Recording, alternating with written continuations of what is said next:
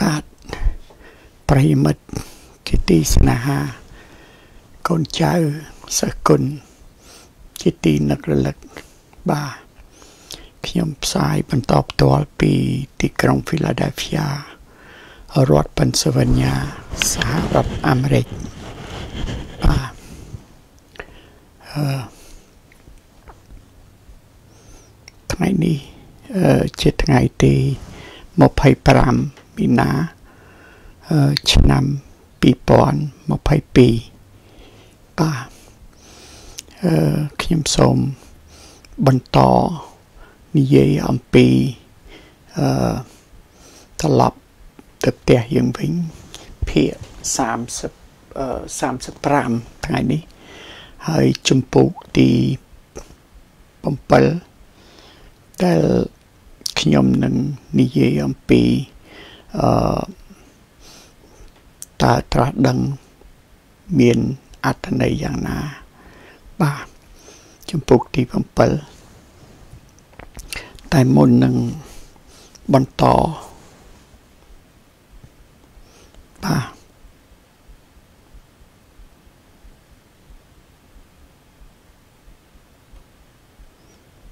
បាទ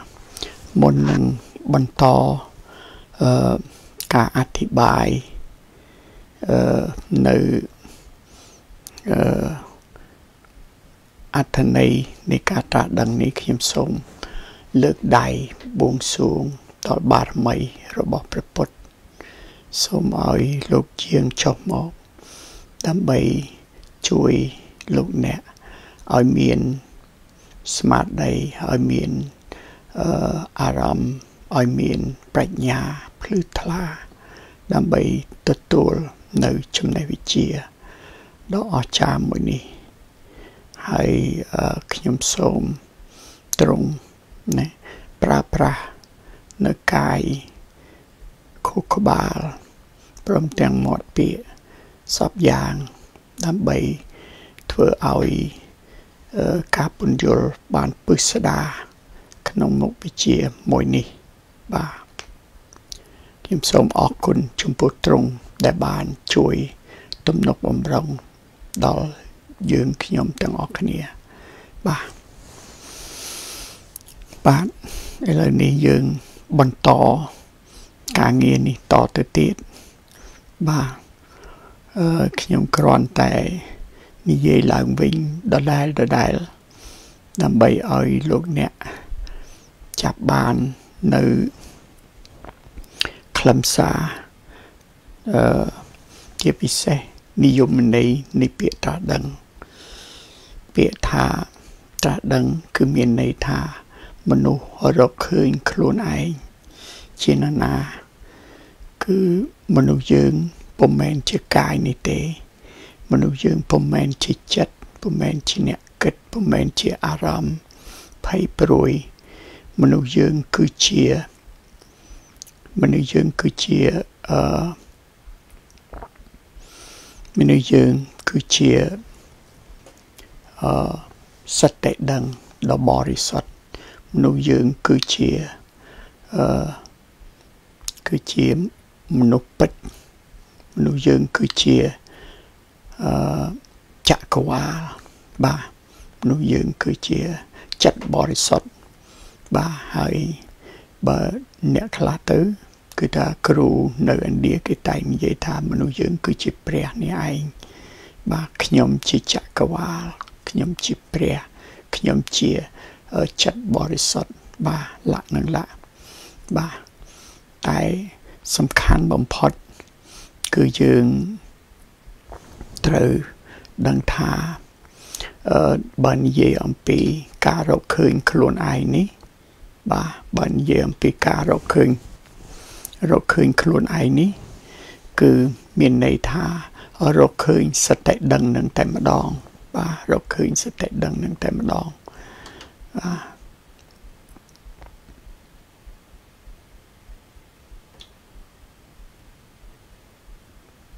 បាទរកឃើញសតិដឹងនឹងតែម្ដងជនណាដែលបានរកឃើញសតិដឹងខ្លួនឯងហ្នឹងគឺថាជននោះ ពិតជាសម្រេចបាននៅការត្រាស់ដឹង នៅក្នុងលោកជាងនេះ បាទការត្រាស់ដឹងនៅក្នុងលោកជាងនេះបាទពាក្យសតិដឹងនេះ ជាខ្លឹមសារកម្ពូល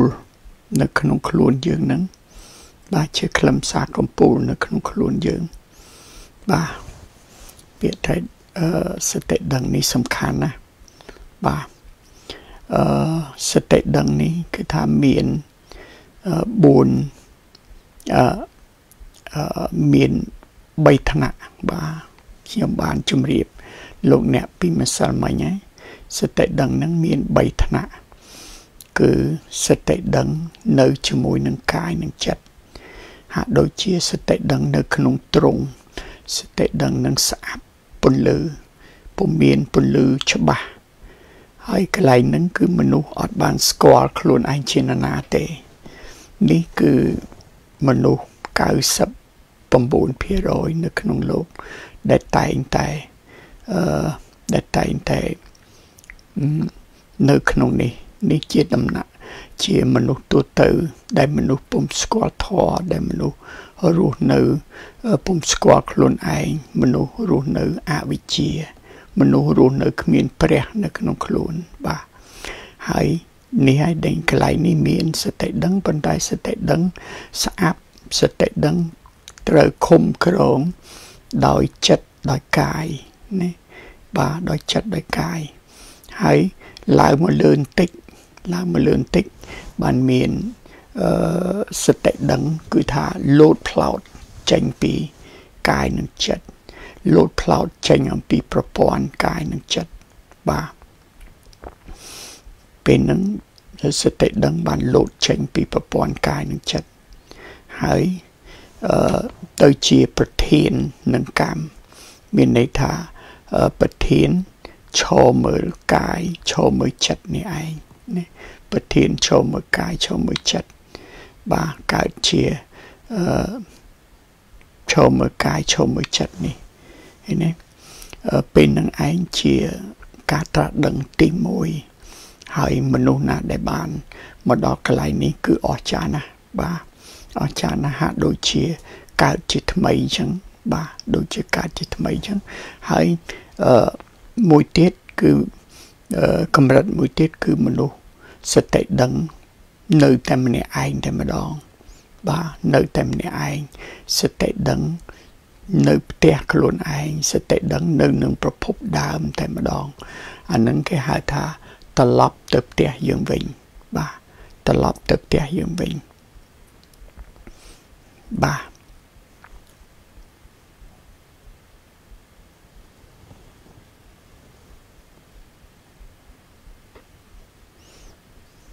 បាទពេលហ្នឹងគឺថាត្រឡប់ទៅផ្ទះយើងវិញ គឺពេលដែលសតិដឹង នៅនឹងសតិដឹងនឹងតែម្ដងឃើញទេសតិដឹងនៅនឹងសតិដឹងនឹងតែម្ដងបាទអញ្ចឹងខ្ញុំនិយាយឡើងវិញគឺថាសតិដឹងមាន3ថ្នាក់សតិដឹងថ្នាក់កាយនិងចិត្តនេះនៅក្នុងទ្រង់សតិដឹងទៅជាប្រធានប្រធានមើលកាយមើលចិត្តហ្នឹងអានឹងគឺឋានៈទី2គឺត្រាស់ដឹងហើយសតិ ដឹងមួយទៀតគឺជាសតិដឹងនៅខ្លួនឯងនៅជាមួយនឹងខ្លួនឯងផ្ទាល់បាទអឺសូមជម្រាបថាសតិដឹងដែលអឺនិយាយអំពីការវិវត្តរបស់មនុស្សជាតិបាទការវិវត្តរបស់មនុស្សជាតិគឺវិវត្តនៃសតិដឹងនឹងតែម្ដង វិវត្តនៃ consciousness នឹងតែម្ដងបាទអឺ សប្តាហ៍នេះមានអឺវិទ្យាសាស្ត្រថ្មីមួយទើបតែកើតឡើងថ្មីថ្មីហ្នឹងគេហៅ quantum physics បាទ quantum physics នឹងជាវិទ្យាសាស្ត្រដែលនិយាយអំពី consciousness ដែលនិយាយអំពីសតិដឹងហ្នឹងបាទបាទហើយដែលនិយាយអំពី quantum physics ដែលនិយាយអំពីសតិដឹងហ្នឹងហើយអឺ សតិដឹងហ្នឹងគឺថាអឺនិយាយអំពីការវិវត្តនៃមនុស្សយើង គេនិយាយថា consciousness គឺជាធាតុជីវិត បាទធាតុជីវិតដែលចុះមកលើផែនដីនេះចុះមកទៅជាដុំថ្មចុះមកទៅជា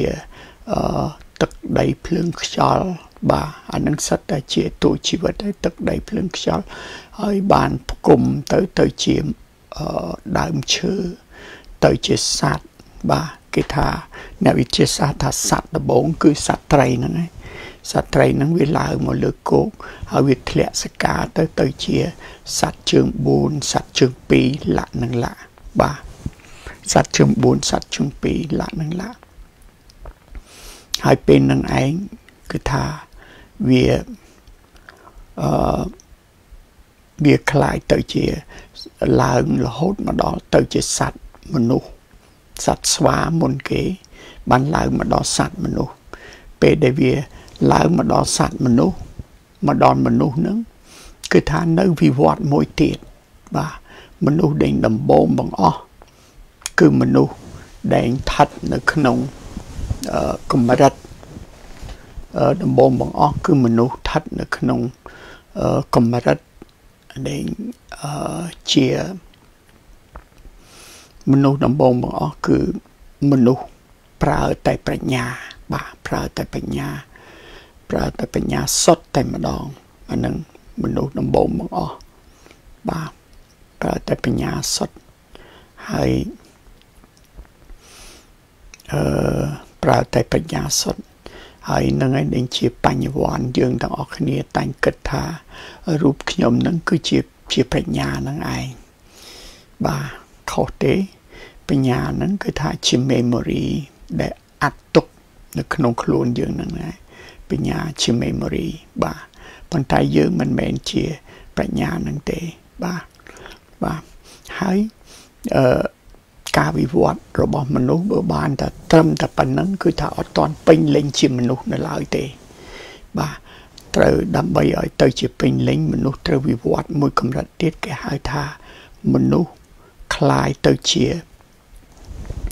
មនុស្សคลายទៅជាអានេះគេហៅអឺស្គាល់សតិដឹងខ្លួនឯងមនុស្សបានជួបនឹងសតិដឹងខ្លួនឯង គឺថាពេលដេញវាឡើង មនុស្សនឹងឡើងដល់កម្រិតនេះអានេះចាប់ផ្ដើម មើលឃើញការពិតដែរថាខ្លួនឯងនេះមិនមែនជាកាយមិនមែនជាចិត្តទេ ពីព្រោះបានឈរមើលវា ហើយឡើងមកកម្រិតទៀតដ៏ខ្ពស់បំផុត គឺសតិដឹងអាចនៅនឹងសតិដឹងសុទ្ធតែម្ដង បាទសតិដឹងអាចនៅនឹងសติដឹងសុទ្ធតែម្ដង អានឹងគឺថាអស្ចារ្យ បាទនេះជាគោលបំណងរបស់មនុស្សជាតិឲ្យទៅដល់សតិដឹងคล้ายទៅជាសតិដឹងសុទ្ធបាទហើយមនុស្សយើងគ្រប់គ្នាដែលដើរនៅលើផែនដីហ្នឹងមកកើតជាមនុស្សហ្នឹងគឺថាបាទនៅលងតែនៅខាងក្រោមនេះឯងអានឹងឯងថាវងវែងនៅខាងក្រោមហ្នឹងបាទបាទ នៅវងវែងនៅខាងក្រោមនឹងឯងបាទដូច្នេះអឺយើងទាំងអស់គ្នាមានភារកិច្ច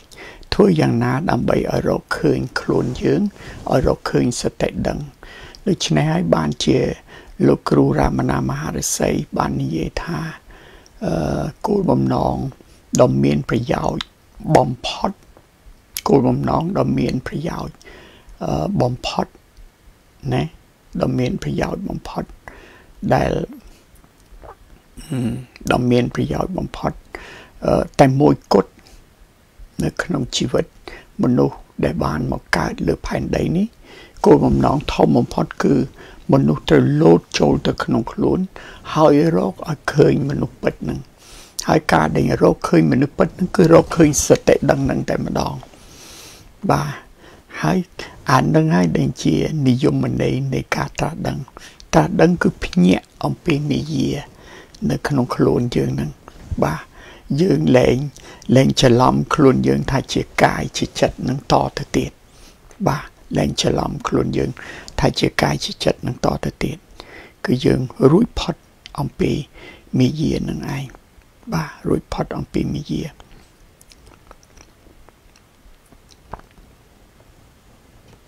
បាទអញ្ចឹង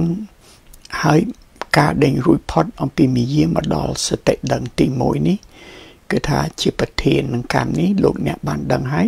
ហើយទីចុងបញ្ចប់ គឺទៅជាសតិដឹងនៅនឹងសតិដឹងឥឡូវថ្ងៃនេះអឺខ្ញុំនាំឲ្យលោកអ្នកសម្រាប់មួយផ្លែតម្ដងទៀតប៉ុន្តែខ្ញុំប្រើវិធីដដែលទេ បាទវិធីដដែលទេ គឺ វិធីដើរពីខាងក្រៅចូលទៅដល់ក្នុងខ្លួនតែម្ដងបាទបាទឥឡូវលោកអ្នក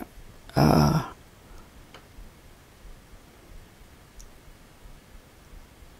បាទវិធីនេះគឺថាវិធីដដែលទេគឺការដើរចូលទៅក្នុងខ្លួន ហើយធ្វើយ៉ាងណាឲ្យយើងសម្រាកទាំងស្រុង ហើយក៏ទន្ទឹមនឹងនឹងគឺថាខ្ញុំចង់ឲ្យលោកអ្នកពិសោធន៍អំពីសតិដឹងដែលនៅនឹងសតិដឹងផ្ទាល់តែម្ដង នៅជា silent នៅជាភាពស្ងប់ស្ងាត់តែម្ដង បាទនៅជា silent នៅជាភាពស្ងប់ស្ងាត់តែម្ដងឥឡូវអឺទី1គឺថាឥឡូវលោកអ្នកប្រុងប្រៀបហើយឬនៅ បាទវិធីនេះ លោកអ្នកមួយចំនួនក៏បានទទួលហើយប៉ុន្តែមានលោកអ្នកខ្លះថ្មី ដែលមកស្ដាប់ខ្ញុំហ្នឹងគឺថាមិនទាន់បានទទួលទេដូច្នេះជាឱកាសល្អសម្រាប់លោកអ្នកថ្មី សម្រាប់សម្រាប់ pause សម្រាប់មួយផ្លេតមួយផ្លេតនៅក្នុងការនេះនឹងសម្រាប់ភ្លាមបានភ្លាមតែម្ដងបាទដោយ ដោយយើងដើរចូលសន្សំសន្សំទៅក្នុងខ្លួន មុនដំបូងយើងនៅនឹងញៀនបន្ទាប់មកទៀតយើងនៅនឹងរូបកាយបន្ទាប់មកទៀតយើងនៅនឹងចិត្តបន្ទាប់មកទៀតយើងទៅឈរមើលឈរមើលអឺកាយនិងចិត្តបន្ទាប់មកទៀតយើងឡើងផុតទៅដល់ទៅដល់សតិដឹងនឹងអង្គុយជាសតិដឹងសុទ្ធតែម្ដង បាទដើម្បីឲ្យលោកអ្នកពិសោធន៍ឃើញ បាទច្បាស់ដោយផ្ទាល់ខ្លួនថាអូសតិដឹងដែលនៅនឹងសតិដឹងសុទ្ធនឹងវាយ៉ាងហ្នឹងអញ្ចឹងណាបាទដូច្នេះអឺលោកអ្នកប្រុងប្រៀបហើយឬនៅបាទបើប្រុងប្រៀបហើយយើងចាប់ផ្ដើម ធ្វើដំណើរចូលទៅក្នុងខ្លួនជាមួយនឹងខ្ញុំបាទអញ្ចឹងអឺសូមលោកអ្នក ដកដង្ហើម3ដងជាមួយនឹងខ្ញុំសិនម្ដងពីរដង3ដងបាទបាទពេលដែលលោកអ្នកដកដង្ហើមហើយអឺសូមលោកអ្នកនៅនឹង ញៀនទាំង5គឺនៅនឹងឃើញស្ដាប់ឮអឺប៉ះពាល់ធំក្លិនដឹងរសជាតិអីចឹងណាអ្វីដែលកើតមាន នៅលើញៀនទាំង5ហ្នឹងគឺសូមឲ្យលោកអ្នកទទួលដឹងបាទសូមឲ្យលោកអ្នកទទួលដឹងភ្លាមភ្លាមសូមឲ្យលោកអ្នកទទួលដឹងឥឡូវដូចជាការមើលឃើញឃើញទេអាហ្នឹងគឺថា ឃើញជញ្ជាំងឃើញក្តារខៀនឃើញមើលតាមបងអួចឃើញអីឃើញអីហ្នឹងគឺលោកអ្នកនៅនឹងញៀនហ្នឹងបន្ទាប់មកទៀតលោកអ្នកអាចនៅនឹងក្លិនណានៅក្នុងកតុបនឹងជួនកាលក្លិនមានក្លិនផ្កាឬក៏មានទាំងអប់នៅចិត្តឬក៏មានមនុស្សអាំងសាច់នៅខាងក្រៅក្លិននឹងចូលមកឬមួយក៏លោកអ្នកអាចនឹងដឹងអំពី ស្បែកប៉ះពាល់បរិយាកាសខាងក្រៅនេះ ដឹងថាកតុបនឹងក្តៅដឹងថាកតុបនឹងត្រជាក់ដឹងថាកតុបនឹងអ៊ុនអ៊ុនឬក៏ដឹងថាអឺរូបកាយលោកអ្នកមកប៉ះនឹងប៉ះនឹងដេញកៅអីលាក់នឹងលាក់គេណាលោកអ្នកដឹងបាទអានឹងលោកអ្នកនៅខាងក្រៅ នៅជាប់ជាមួយនឹងញៀនហ្នឹងបាទ បាទឥឡូវសូមលោកអ្នកចូលមកក្នុងបន្តិចទៀតបាទចូលមកក្នុង គឺចូលមករូបកាយ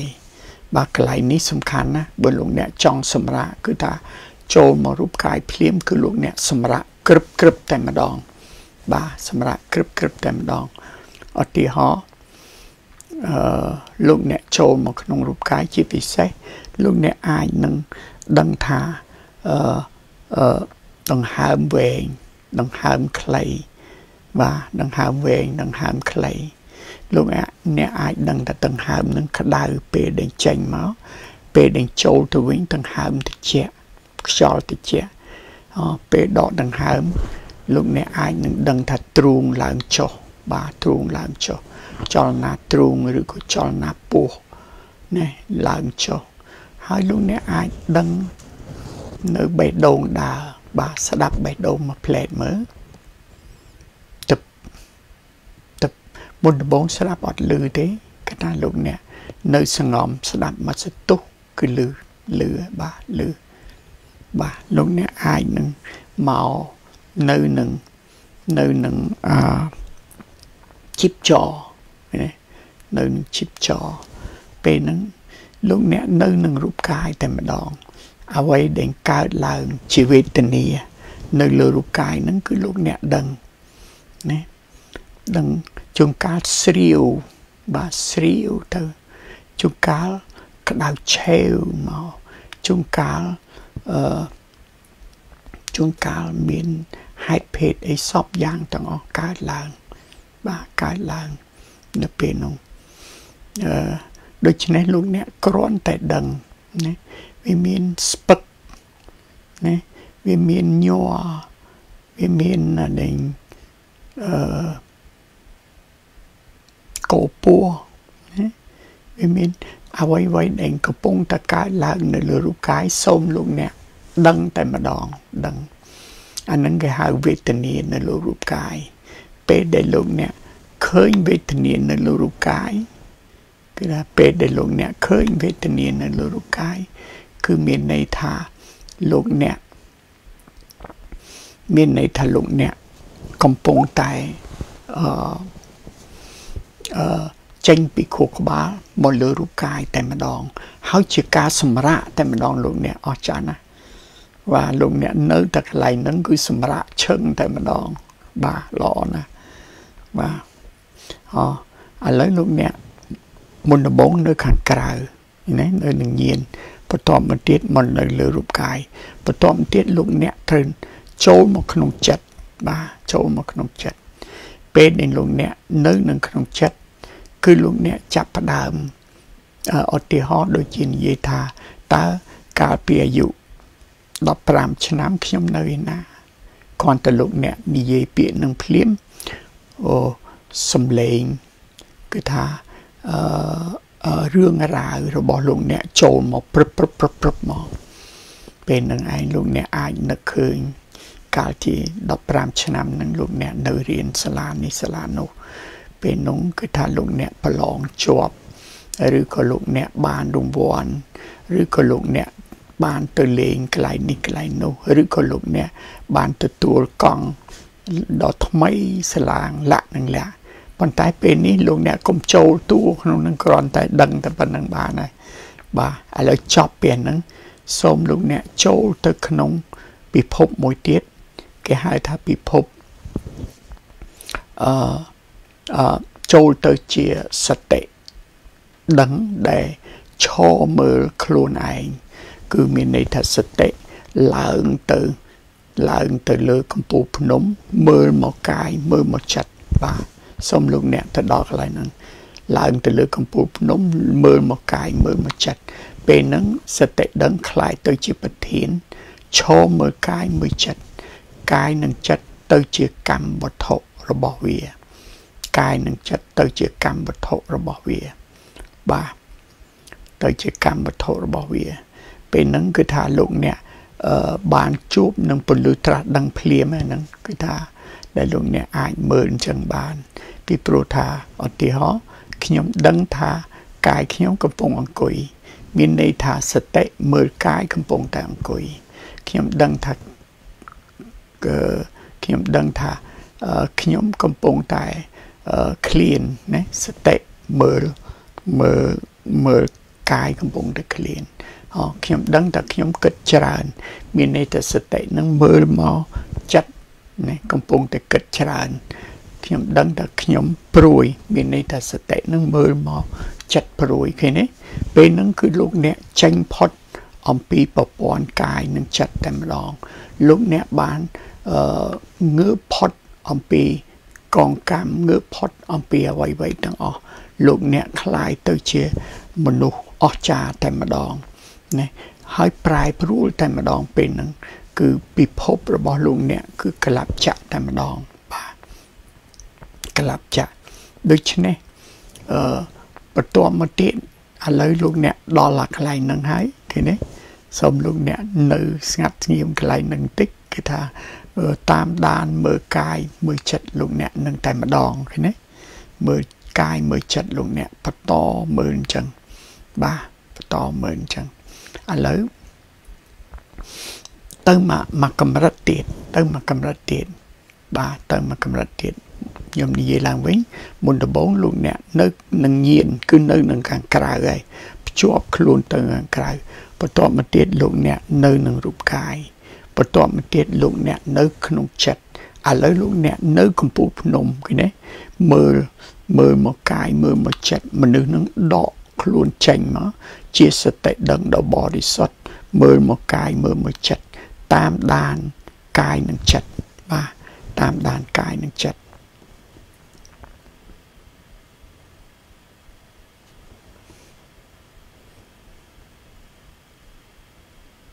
បាទ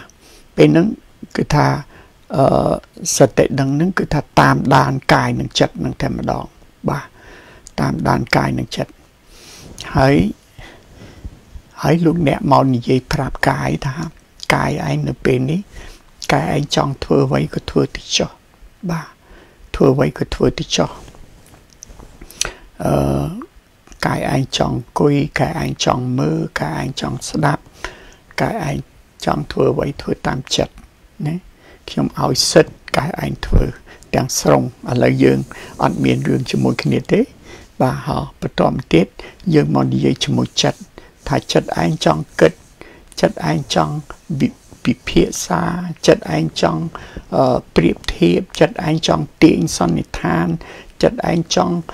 សម័យឃើញអីតាមចិត្តណាឥឡូវខ្ញុំឲ្យសិទ្ធចិត្តឯងធ្វើតាមចិត្ត ឥឡូវយើងអត់មានតាក់ទងគ្នាទេផ្ដាច់ចំណងតាក់ទងមកផ្លេតណាដើម្បីឲ្យខ្ញុំបិទកតុបខ្ញុំនៅម្នាក់ខ្ញុំហ្មងបាទពេលហ្នឹងគឺថាលោកអ្នកបិទទ្វារលោកអ្នកអង្គុយនៅម្នាក់ឯងតែម្ដងបាទអត់មានខ្វាយខ្វល់អំពីរឿងអ្វីទាំងអស់លោកអ្នកទម្លាក់កម្មវត្ថុទាំងអស់ចុះបាទកម្មវត្ថុទាំងអស់ទម្លាក់ទម្លាក់ចុះបាទ ពេលហ្នឹងគឺលោកអ្នកសតិដឹងនៅម្នាក់ឯងបាទសតិដឹងនៅនឹងសតិដឹងបាទបរិសុទ្ធតែម្ដងស្ងប់ស្ងាត់ស្ងប់ស្ងាត់ silent silent បាទគំនិតនៅតែមានប៉ុន្តែយើងអត់ខ្វល់កាយវិការរបស់ កាយនៅតែមានប៉ុន្តែយើងអត់ខ្វល់អ្វីអ្វីដែលមាននៅក្នុងខួរក្បាលអត់ខ្វល់យើងនៅតែជាមនុស្សអឺស្ងប់ស្ងាត់ដោយយើងទម្លាក់កម្មវត្ថុទាំងអស់ឃើញទេអញ្ចឹងអាប្រធានវានៅតែម្នាក់វាចុងកើតវានៅសងំម្នាក់វានឹងតែម្ដងឃើញទេលោកអ្នកយល់ទេបាទហើយកន្លែងនេះគឺជាកន្លែងសម្រាប់សុទ្ធតែម្ដងលោកអ្នក លោកអ្នកអាចនឹងសម្រាប់បានភ្លាមភ្លាមតែម្ដង នៅកន្លែងនេះបាទ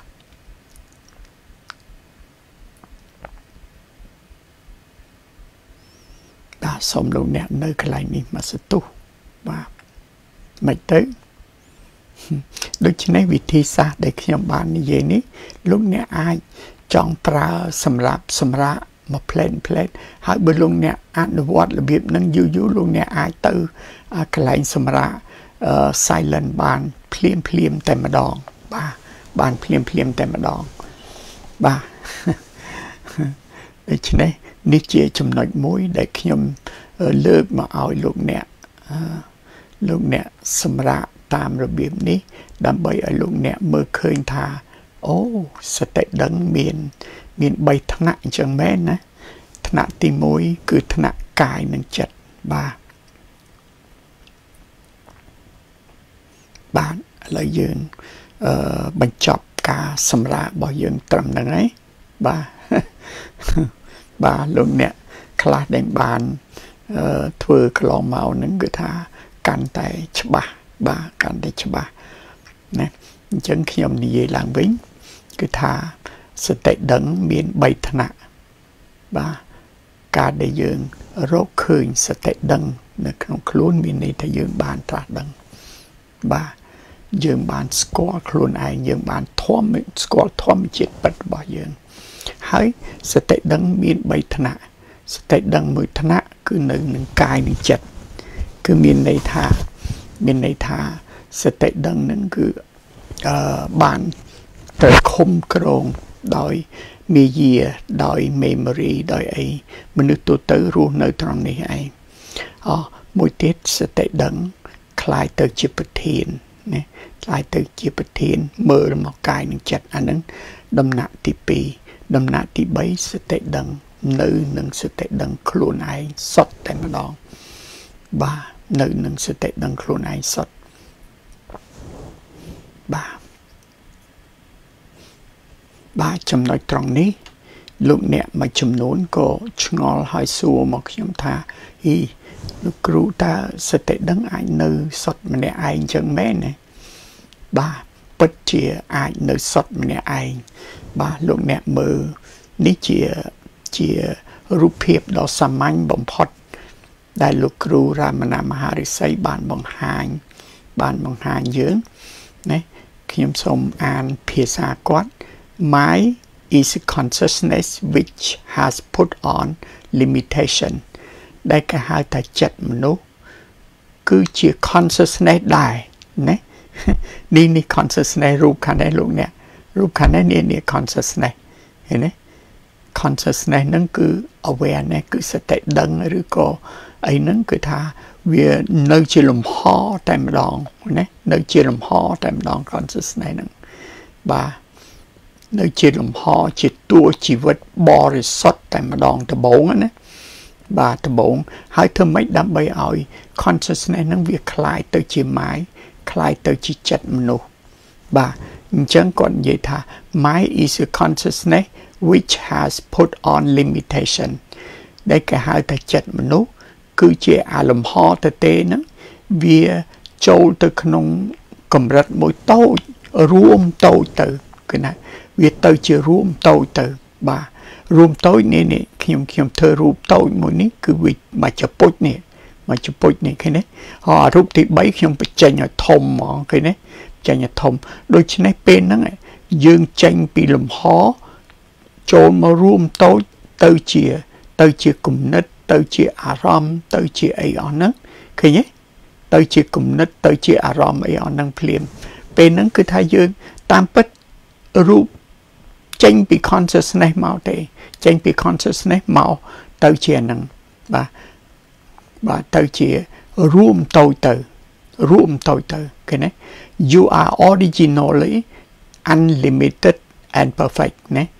នោះមុនមុននឹងមកដល់អាហ្នឹងគឺថាអ្នកនេះអ្នកគឺថាជាលំហធំណាហើយស្អាតបរិសុទ្ធណាលំហធំហើយស្អាតបរិសុទ្ធប៉ុន្តែដល់ ដល់តាយើងចូលមកមនុស្សយើងចូលមកការគិតគូរយើងចូលមកការព្រួយបារម្ភអីអាលំហធំហ្នឹងវាคลายទៅជាកូនទូចនេះនេះរួមតូចទៅចង្អៀតទៅគេណាទៅជាចង្អៀតតូចទៅហោះតាមពិតយើងពីមុនគឺអានេះទេណាគឺអាអាលំហធំនេះទេ later you take on limitation and become the mind ក្រោយមក ក្រោយពីពីលំហហ្នឹងវាคลายមកជានេះវិញគេណាដូច្នេះលោកគ្រូរាមណាមហារិស័យហ្នឹងគឺគាត់គាត់បង្ហាញពាក្យប្រមាណឃ្លានេះបង្ហាញឲ្យឃើញថាចំការដែលคลายទៅជាចិត្តបរិសុទ្ធទៅជាលំហទៅជាសតិដឹងនៅម្នាក់ឯងហ្នឹងងាយស្រួលបំផុត គ្រាន់តែប្រឡែងអាគំនិតប្រឡែងអារម្មណ៍ប្រឡែងអីនេះចេញទៅ ទៅជានឹងបាត់ឃើញទេទៅជានឹងបាត់ឧទាហរណ៍ដូចជាពេលមួយដែលលោកអ្នកកំពុងតែវឹកវរកំពុងតែវឹកវរនៅក្នុងអាដែងអឺវឹកវរនៅក្នុងព្យុះភ្លៀងនៃចិត្តណាមានបញ្ហាអីមួយ នៅក្នុងព្យុះភ្លៀងភ្លៀងនៃចិត្តលោកអ្នកប្រើពាក្យថាខ្ញុំមិនខ្វល់ ខ្ញុំមិនខ្វល់ហើយចុះបើអាការនឹងកើតមកវាមានអីធ្លាក់ដល់ខ្ញុំមានន័យថាយើងប្រឡែងចោលទាំងអស់ពេលដេញប្រឡែងចោលសុកមកផ្លែតមកលោកអ្នកសុកភ្លាមមកធូរតម្រងឈប់គិតឈប់ខ្វល់ឈប់អីហ្នឹងស្រាប់ព្រឹបព្រឹបព្រឹបធូរព្រឹបហ្មងដោះជាពាក់ព្រឹបហ្មងលោកអ្នកឃើញអស្ចារ្យដោះជាពាក់ភ្លឹប ហ្មងអញ្ចឹងដើម្បីឲ្យត្រឡប់ទៅអាអាអារង្វង់នៃចិត្តបរិសុទ្ធនេះមកព្រឹបទៅដល់នឹងភ្លាមហ្មងឃើញទេដល់នឹងភ្លាមដូច្នេះវាងាយណាស់ងាយណាស់ប៉ុន្តែយើងដោយមាយាយើងថាខ្លួនយើងនេះជា ជាអតូចនឹងឯងជាម៉ាយជា human mind ជាចិត្តជាអារម្មណ៍ជាគំនិតនឹងតែតាមពិតអានឹងដូចជាទឹកអលោកញ៉ាលោកអ្នក នេះទឹកអលោកងើបឡើងហើយវារលាយចូលទៅក្នុង consciousness វិញវាងើបឡើងវារលាយចូលទៅក្នុងមហាសមុទ្រអានេះប្រៀបដូចជាមហាសមុទ្រចឹងលោកអ្នកឃើញទេហើយអានេះដូចទឹកអលោកចឹងហើយវាលិចលិចឡើងហើយវាលាយចូលមកនឹងវិញលិចឡើងវាលាយចូលមកនឹងវិញតែពេលណាដែលយើងអឺយើងគ្រាន់តែឈប់គិតមួយផ្លែតគឺវាទៅជាមហាសមុទ្រវិញបាទតាមពិត បើយើងនិយាយពាក្យមួយម៉ាត់ថាខ្ញុំជាចិត្តនេះឬក៏ខ្ញុំខ្ញុំជារលកនេះឬក៏ខ្ញុំជាអឺជាជាមហាសមុទ្រណាតាមពិតជាក់ស្ដែងមែនទែនគឺមហាសមុទ្រនេះទេមហាសមុទ្រនេះអត់បដូរទេលោកអ្នកឃើញទេនៅនឹងថ្កល់បរិសុទ្ធប៉ុន្តែនេះអាលោកនេះកើតរលត់កើតរលត់វាកើតឡើងវាទៅជា ចិត្តមនុស្សវាកើតឡើងវាទៅជារលក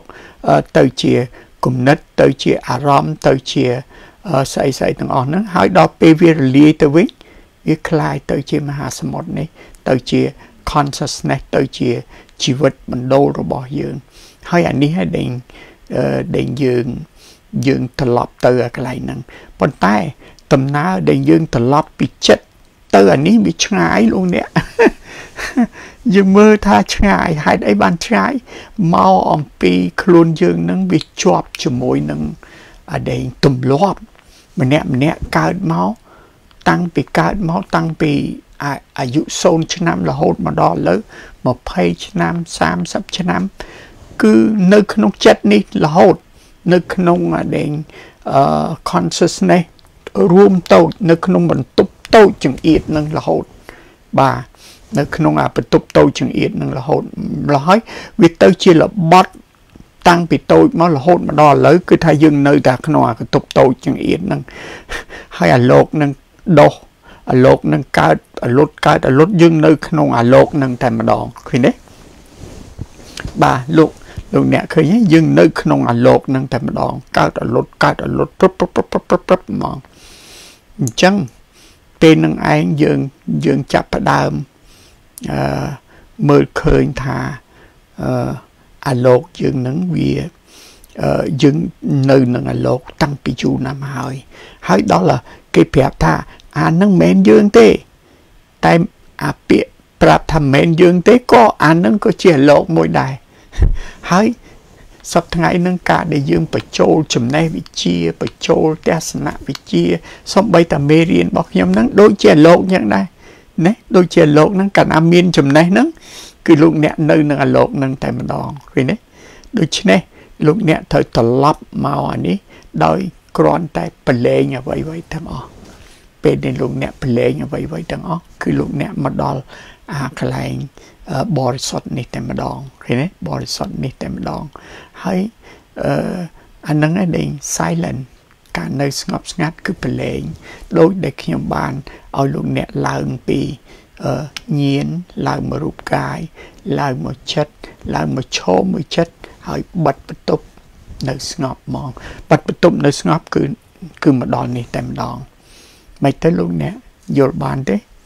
បាទយល់បានទេដូច្នេះចិត្តបរិសុទ្ធឬក៏ consciousness សតិដឹងនៅនឹងសតិដឹងនឹងគឺនៅចិត្តយើងនឹងតែម្ដងអត់ឆ្ងាយពីយើងទេគ្រាន់តែពេលណាដែលយើងចេញអំពីចិត្តយើង ចេញអំពីអារម្មណ៍យើង ចេញអំពីគំនិតយើង ចេញពីអីទៅ យើងគឺជារបស់នឹងតែម្ដងណាគឺជារបស់ដ៏បរិសុទ្ធនឹងអស្ចារ្យទេលោកអ្នកបាទបាទឥឡូវយើងបន្តទៅទៀតគ្រាន់តែមើលអំពីពាក្យពេចន៍លោកគ្រូខ្លះ បាទអានេះខ្ញុំបកប្រែពាក្យអននេះដើម្បីបញ្ជាក់បន្ថែមអំពីការប្រៀបធៀបមួយចំនួនដែលមនុស្សនៅក្នុងលោកគេបានធ្វើការពិពណ៌នាឲ្យយើងយល់អំពីសតិដឹងនៅនឹងសតិដឹងម្នាក់ឯងនឹងបាទចាំមើល clear នេះគាត់និយាយថា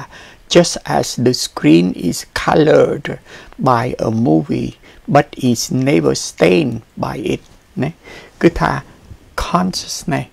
ឬក៏សតិដឹងដ៏បរិសុទ្ធហ្នឹងគេប្រៀបធៀបដូចជាកញ្ចក់ទូរទស្សន៍អញ្ចឹង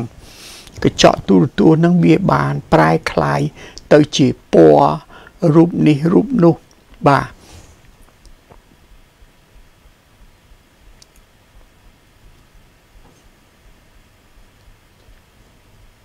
បាទវាបានប្រែคล้ายទៅជាពណ៌រូបនេះរូបនោះប៉ុន្តែតាមពិតវាអត់មានប្រឡាក់ពណ៌ទេលោកអ្នកពណ៌នឹងកើតរលត់កើតរលត់នៅលើរូបវាអត់មានមកប្រឡាក់លើវាទេឃើញទេបាទ so awareness is colored by experience but is never tarnished or uh, sullied by anything that take place within it ណាគឺថាក៏គឺថាកញ្ចក់ទូរទស្សន៍ដែល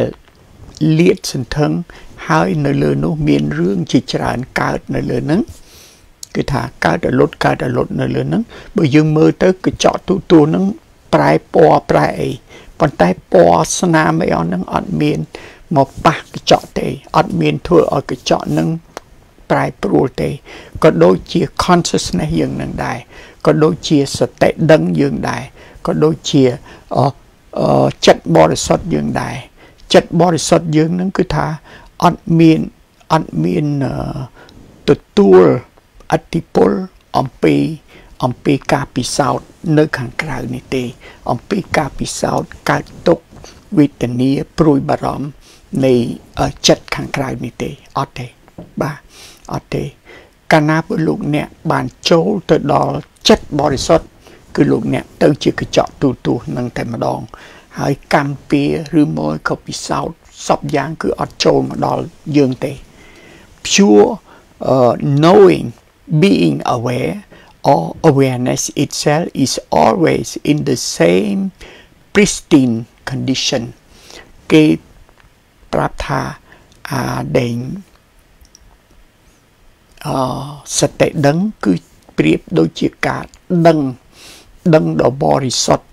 ប្រៀបដូចជាកញ្ចក់ទូទួអញ្ចឹងគឺថាអឺរស់នៅខាងក្រោយនោះដោយបរិសុទ្ធ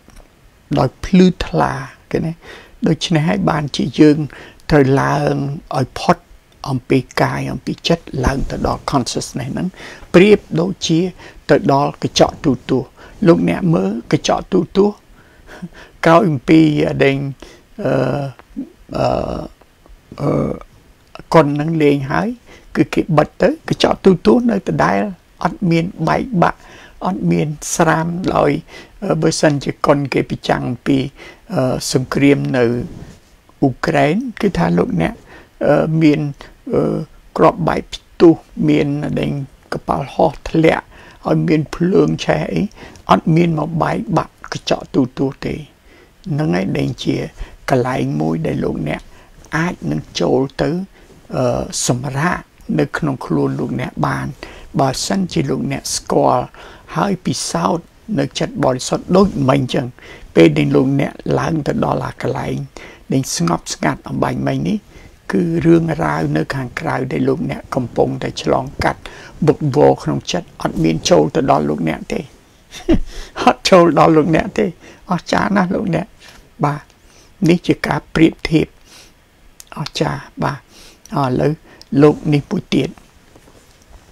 នេះលោកគ្រូអេកាលោកគ្រូរូបស្ពីរ៉ាតដែលទេគាត់និយាយថា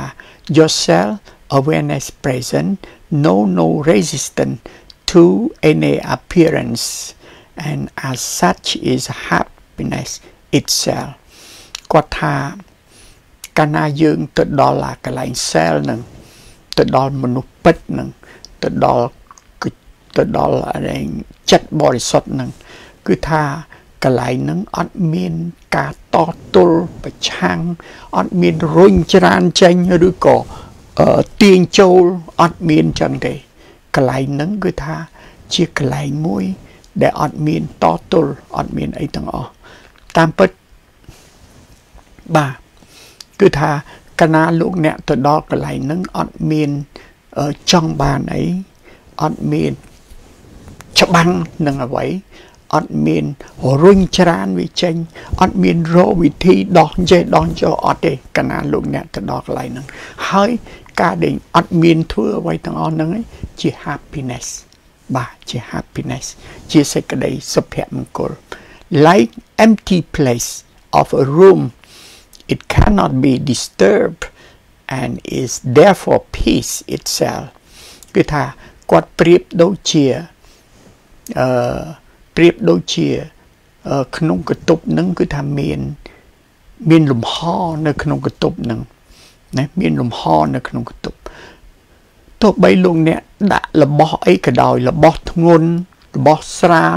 របស់ធំក្លិនស្អុយរបស់អី អាលំហហ្នឹងវាអត់ដែលអត់ដែលបកាយតវ៉ានឹងយើងទេឃើញទេវានៅដដែលវានៅតែដដែលល្អបរិសុទ្ធដូចលំហនៅក្នុងកតុបនឹងចឹងហើយពេលនឹងឯងអានឹងឯងដែលបង្ហាញនៅភាពស្ងប់ពេលដែលយើងទៅដល់លំហនៅក្នុងកតុបនឹងអត់មានបកាយតវ៉ានឹងអ្វីដែលដាក់នៅក្នុងនឹង គឺថាយើងស្ងប់បរិយើងយើងស្ងប់តែម្ដង មានន័យថាពេលដែលលោកអ្នកឡើងទៅដល់សតិដឹង គឺពេលនឹងឯងលោកអ្នកជួបនឹងគុណភាពថ្មីមួយ ដែលពុំមានការច្បាំងនៅក្នុងខ្លួនតទៅទៀតបើលោកអ្នកនៅក្នុងចិត្តនៅក្នុងកាយនេះគឺថាចម្បាំងមិនចេះចប់ទេពេលនឹងអត់មានសន្តិភាពទេប៉ុន្តែបើឡើងទៅដល់កន្លែងហ្នឹង គឺថាពេលនឹងអស់មានច្បាំងប្រៀបដូចជារំហនៅក្នុងកតុបហ្នឹងអត់មានតវ៉ាជាមួយលោកអ្នកដាក់តុកនេះតុកធំតុកតូចតុកល្អຕົកអាក្រក់អត់មានអឺច្បាំងនឹងអឺក្លិនរបស់មួយដែលក្លិនស្អុយអាសោចអត់មានច្បាំងអាលំហនៅនៅដដែលឃើញទេអស្ចារ្យលើ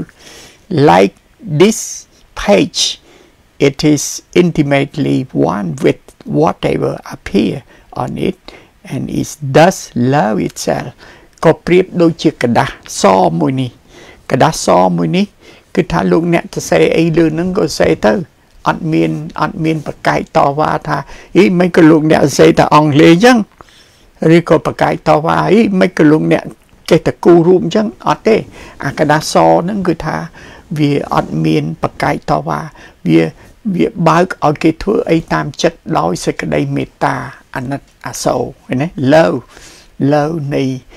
សេចក្តីស្រឡាញ់ដូចដើមឈើអញ្ចឹងដើមឈើមួយមានមលុបមិនមែនអាមលុបនឹងមិនមែនកំណត់ថានេះតលតអ្នកឯងមនុស្សកាន់សិលបានបានមកឈោកឈោក្រោមមលុបនឹងបានមិនអញ្ចឹងទេ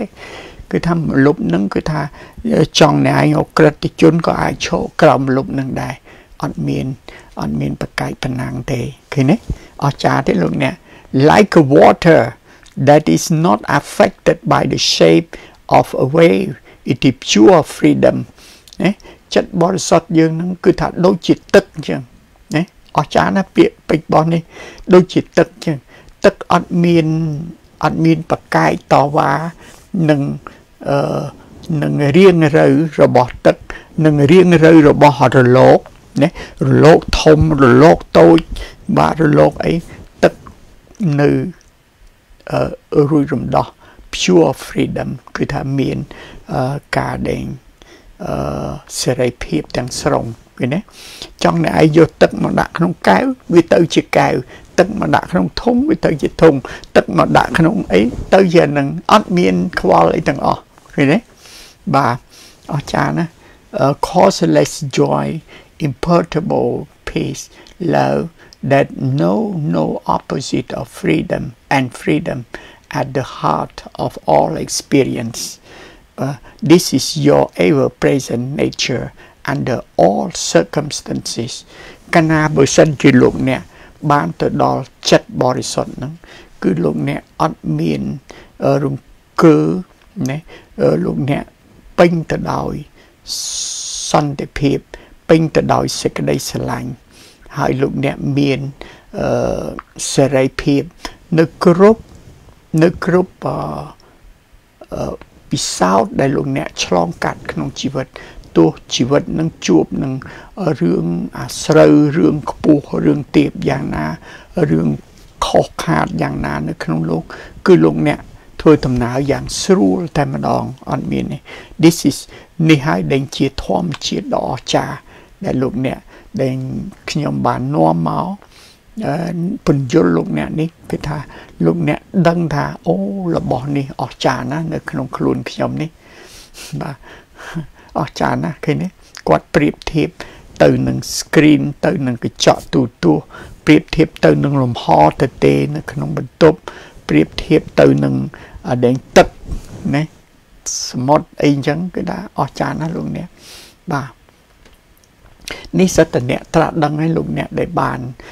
និយាយភាសាអស់នេះបើសិនជាលោកអ្នកនៅនឹងភាសាលោកសម្ភារៈលោកអ្នកមិនអាចយល់ភាសាដែលខ្ញុំនិយាយនេះបានទេមកស្ដាប់ស្ដាប់ភាសាលោកនេះមួយទៀត Muji នេះបាទ uh, vaster than sky greater than space what you are before you become គឺថាពេលដែលលោកអ្នក តើតើខ្ញុំបន្ថែមន័យបានបានបានលោកអ្នកស្ដាប់កំណាប់គាត់នឹងបានអឺពេលដែលលោកអ្នកคลายទៅជាចិត្តបរិសុទ្ធคลายទៅជាអឺបើយើងនិយាយមិញនេះคลายទៅជាទៅជាមហាសមុទ្រឃើញទេคลายទៅជាកញ្ចក់ទូរទស្សន៍ណាคลายទៅជាដុំមាសឃើញទេដុំមាសសុទ្ធណាคลายទៅជាដុំមាសសុទ្ធ ពេលហ្នឹងលោកអ្នកធំជាងជាងមេឃទៅទៀត vaster than sky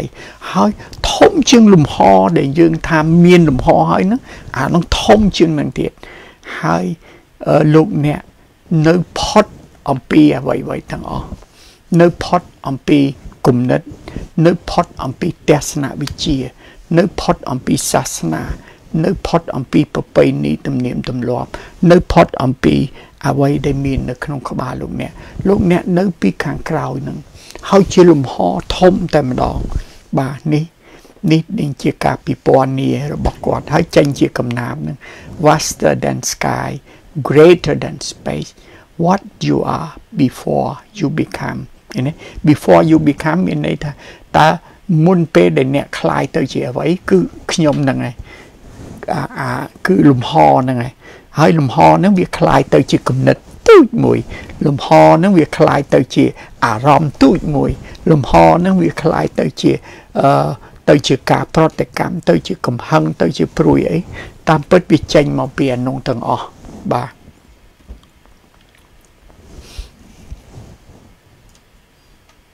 បាទឥឡូវពាក្យពាក្យនេះក៏ល្អដែរលោកអ្នក give your attention to the experience of seeing rather to the object seen you will find yourself everywhere អានេះរូបស្ពីរ៉ាគាត់និយាយភាគ clear ហ្នឹងឥឡូវខ្ញុំបកត្រង់ត្រង់ណាចូលអ្នកបដោតអារម្មណ៍អ្នកទៅលើសកម្មភាពមើល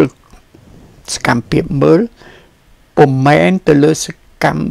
ទៅលើអ្វីដែលលោកអ្នកឃើញ ដែលជាកម្មវត្ថុនោះទេណាបើលោកអ្នកធ្វើដូច្នេះបាន លោកអ្នកនឹងឃើញរូបលោកអ្នកនៅគ្រប់កន្លែងតែម្ដងលោកអ្នកយល់បានទេភាសាហ្នឹងបាទចូលអ្នកអូឥឡូវពេលដែលដែលខ្ញុំឃើញឧទាហរណ៍ខ្ញុំឃើញ មានន័យថាមានមនុស្សម្នាក់មើលទៅផ្កាឃើញទេ មនុស្សម្នាក់មើលទៅផ្កាសកម្មភាពមើលផ្កានៅខាងមុខហ្នឹងធម្មតាមនុស្សយើងតែងតែចាប់អារម្មណ៍លើផ្កានេះបាទអូផ្កាអូផ្កាក្រហមអូអានឹងផ្កាកលាបអូខ្ញុំស្រឡាញ់ផ្កាហ្នឹងណាអូខ្ញុំគួរតែទិញផ្កាហ្នឹងមកទុកក្នុងផ្ទះខ្ញុំគេណាមនុស្សយើងគ្រប់គ្នា គឺចាប់អារម្មណ៍លើផ្កាហ្នឹងប៉ុន្តែឥឡូវហ្នឹងលោករូបស្ពីរ៉ាថាកុំចាប់អារម្មណ៍លើផ្កា ចាប់អារម្មណ៍លើអ្នកលើអំពើឃើញនេះឃើញទេលើអំពើឃើញគ្រាន់តែឃើញហេពេលដែលលោកអ្នកថាគ្រាន់តែឃើញភ្លាមណា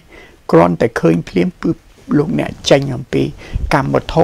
មកខ្លួនឯងតែម្ដងលោកអ្នកយល់ទេហ្នឹងបាទគ្រាន់តែឃើញ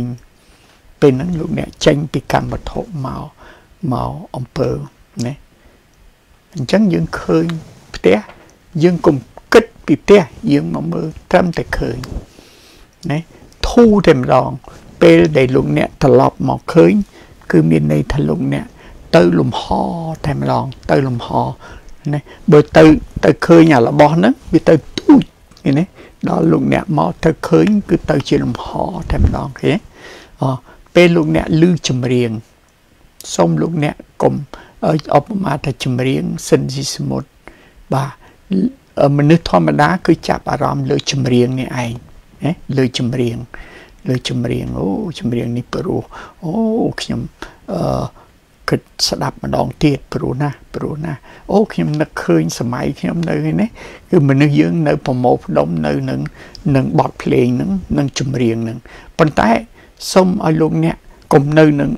នៅនឹងកម្មវត្ថុនឹងសូមលោកអ្នកនៅនឹងលឺនៅនឹងលឺលឺ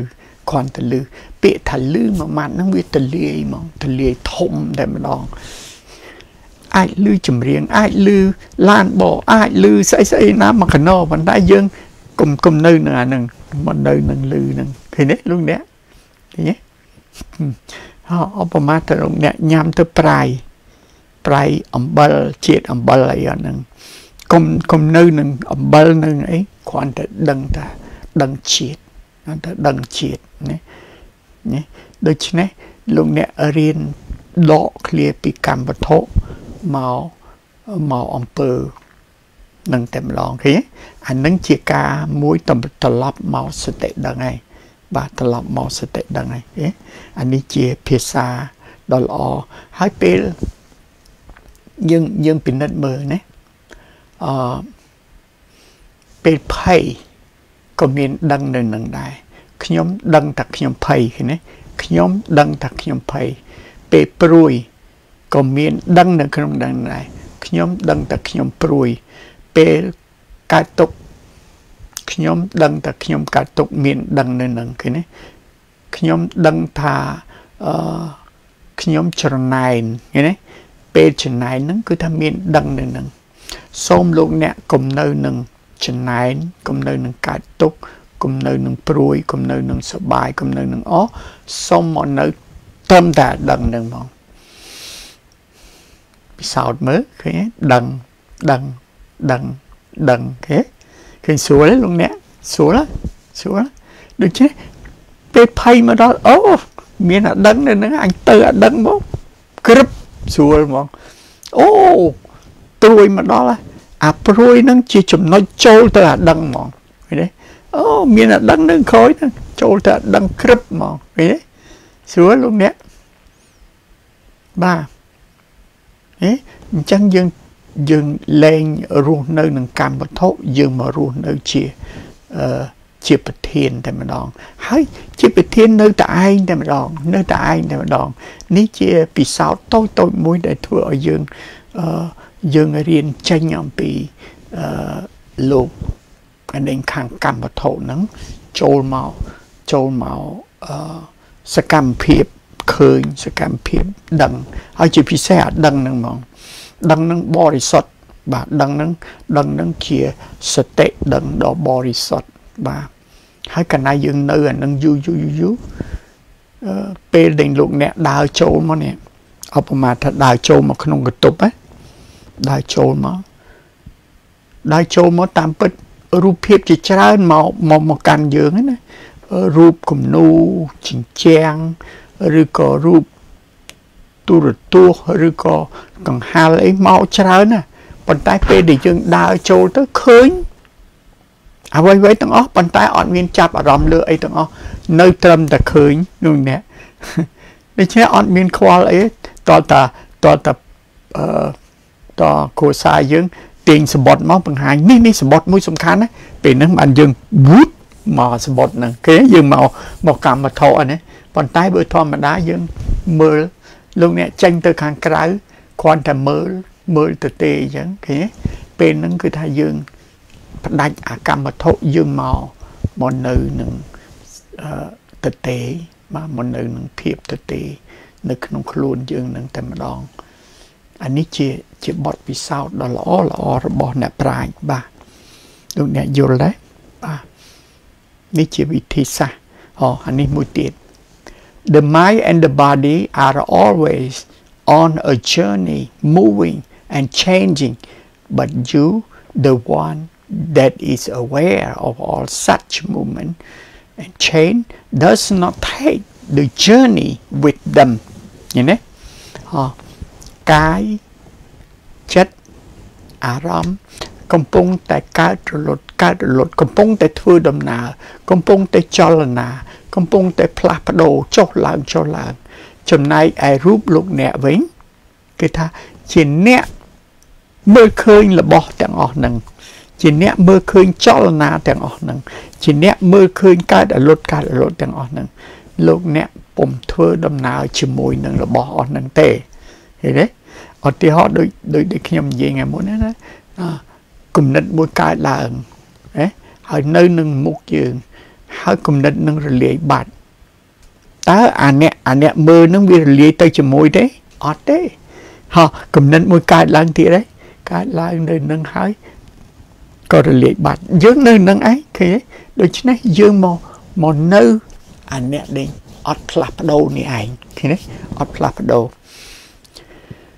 you do not share their destiny or limit you never become what they seem to be គឺថាយើងពុំរួមតូចពុំអឺ ទៅជាតូចទៅជាធំ ទៅជាពណ៌នេះពណ៌នោះតាមតាមអាអ្វីតាមរូបកាយតាមចិត្តដែលផ្លាស់ប្ដូរនឹងទេណាយើងអត់មានផ្លាស់ប្ដូរទៅទៅតាមវាទេ គឺយើងនៅត្រឹងនៅពីខាងក្រោយយ៉ាងយ៉ាងរំភើយបាទឃើញទេលោកអ្នកមើលការពិព័រណ៍នេះរបស់អ្នកតាដឹងគឺបង្ហាញមកឃើញពិតពិតចឹងមកបាទ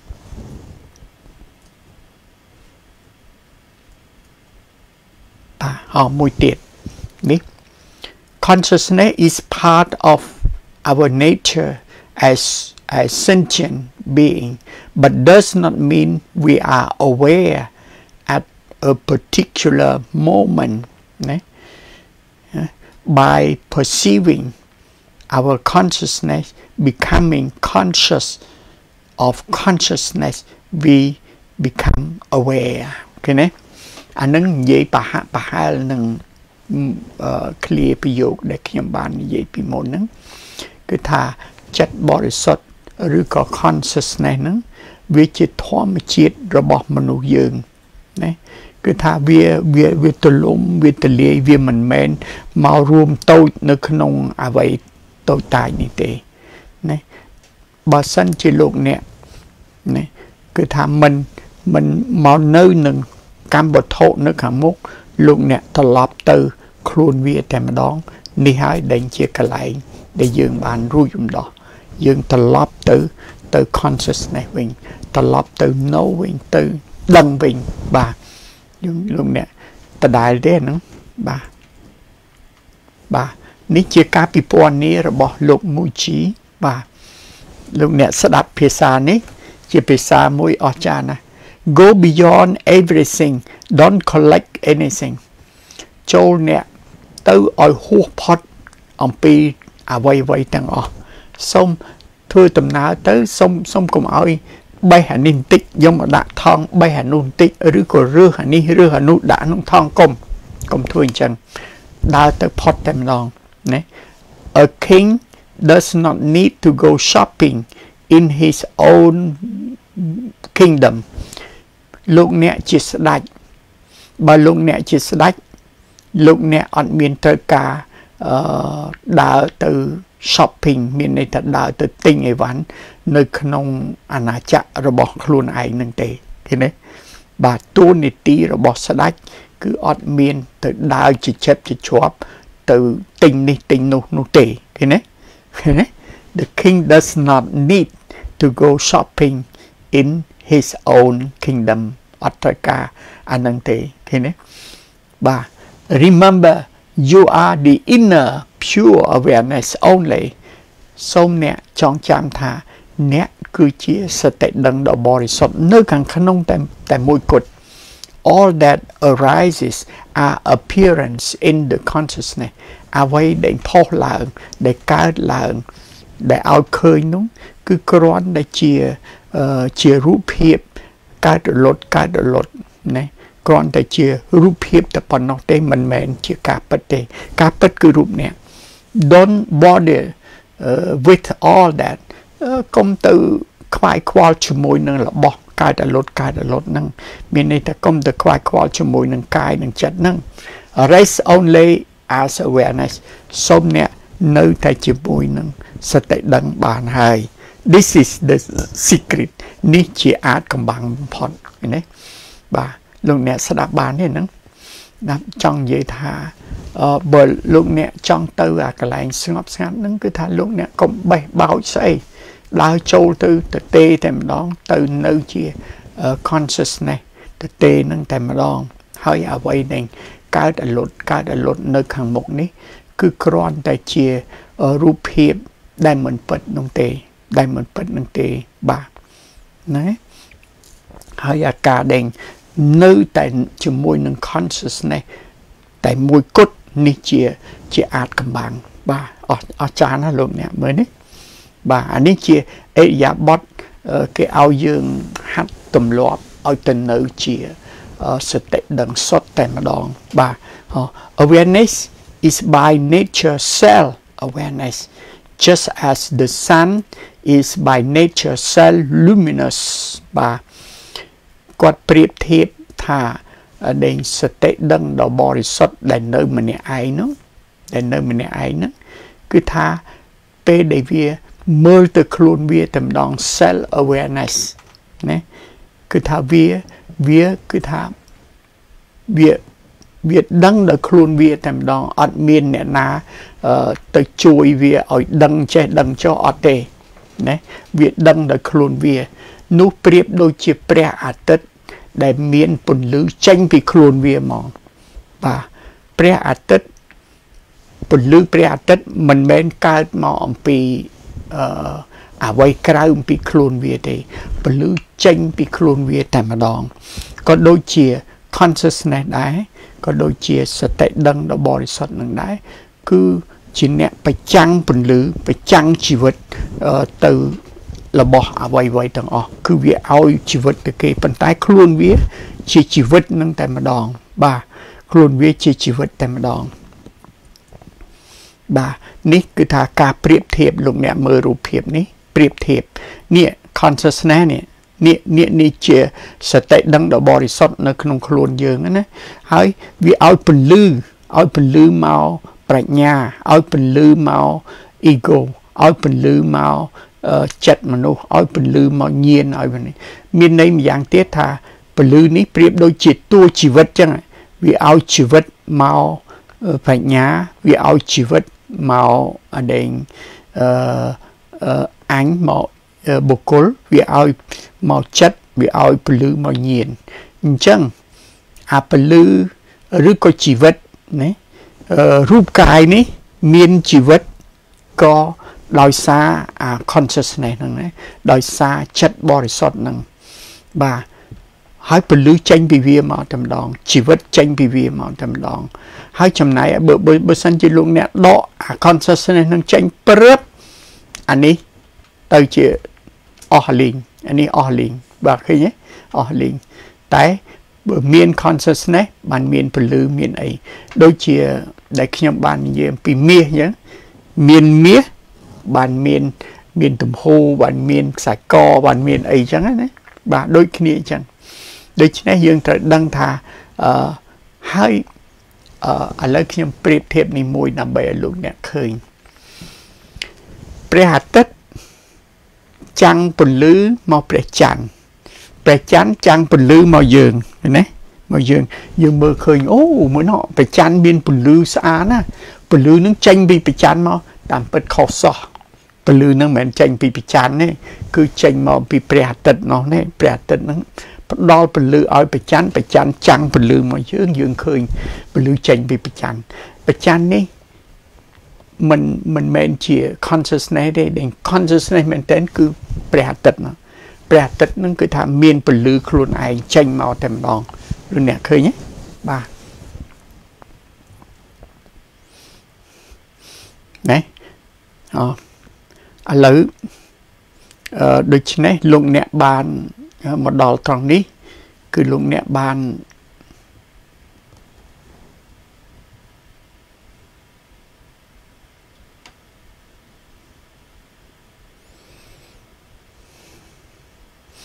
បាទដូច្នេះមកដល់ត្រង់នេះលោកអ្នកបានដឹងថា នៅ ក្នុងខ្លួនយើងនឹងគឺថា ដើម្បីធ្វើបដិបដិវត្តនៅក្នុងខ្លួនយើង ដើម្បីធ្វើឲ្យខ្លួនយើងคล้ายទៅជាមនុស្សមានន័យ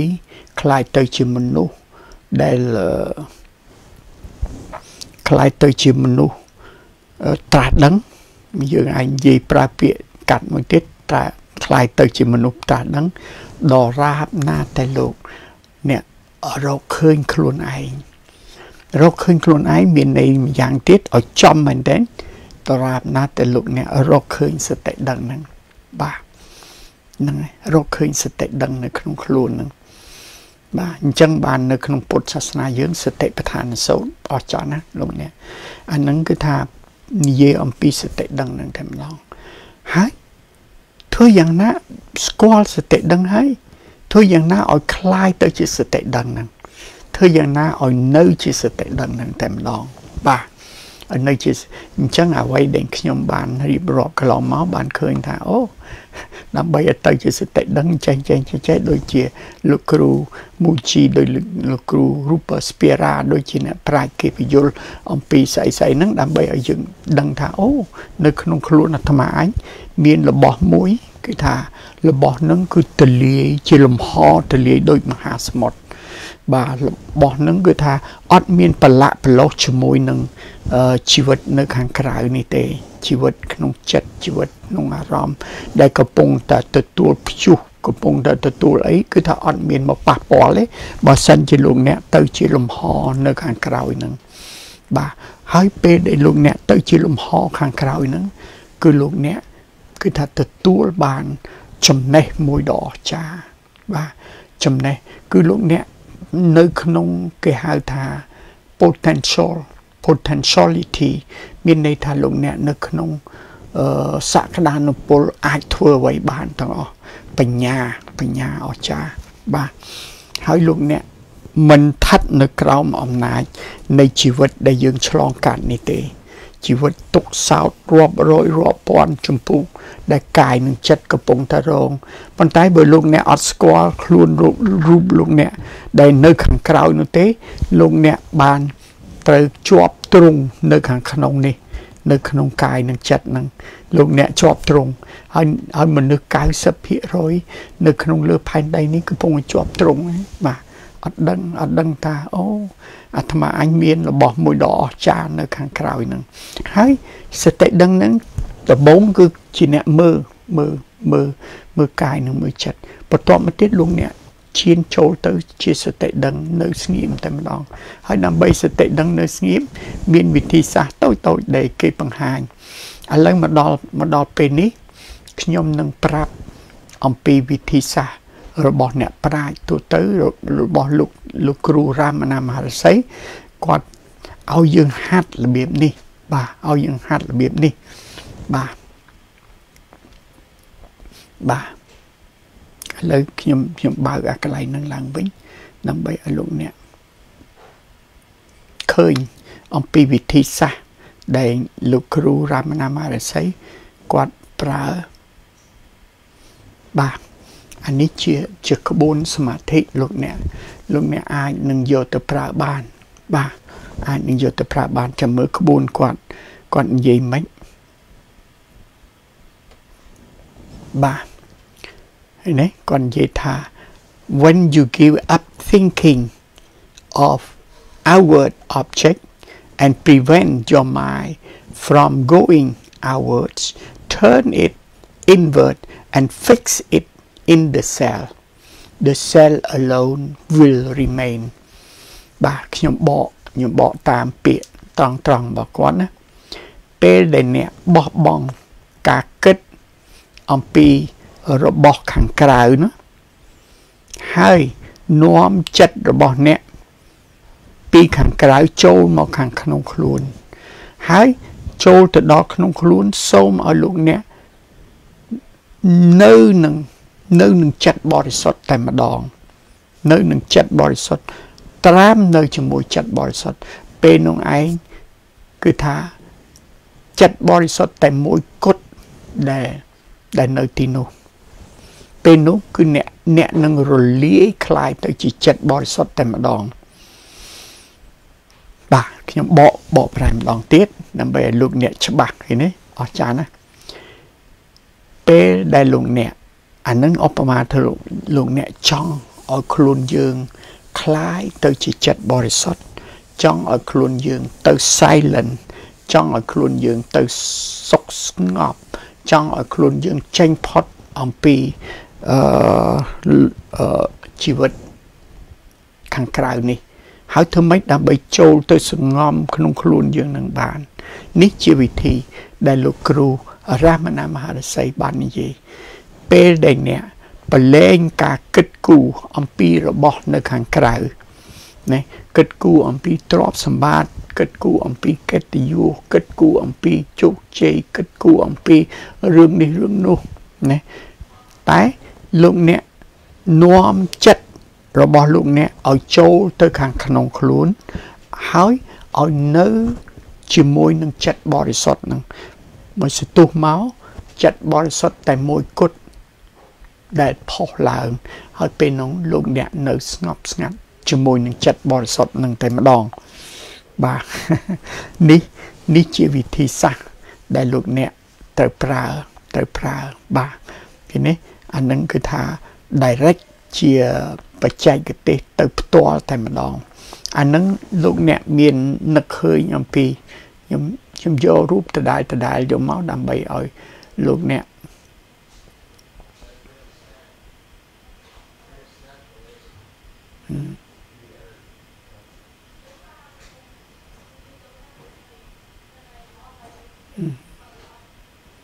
បាទជប់ទៅណាចេះបាទរឿងសត្វពីរលោកអ្នកបាទខ្ញុំខ្ញុំលឹកអាសត្វពីរហ្នឹងដើម្បីឲ្យឃើញវិធីសាស្ត្រនឹងឯងឃើញទេប៉ាចេះភ្លេចគុណ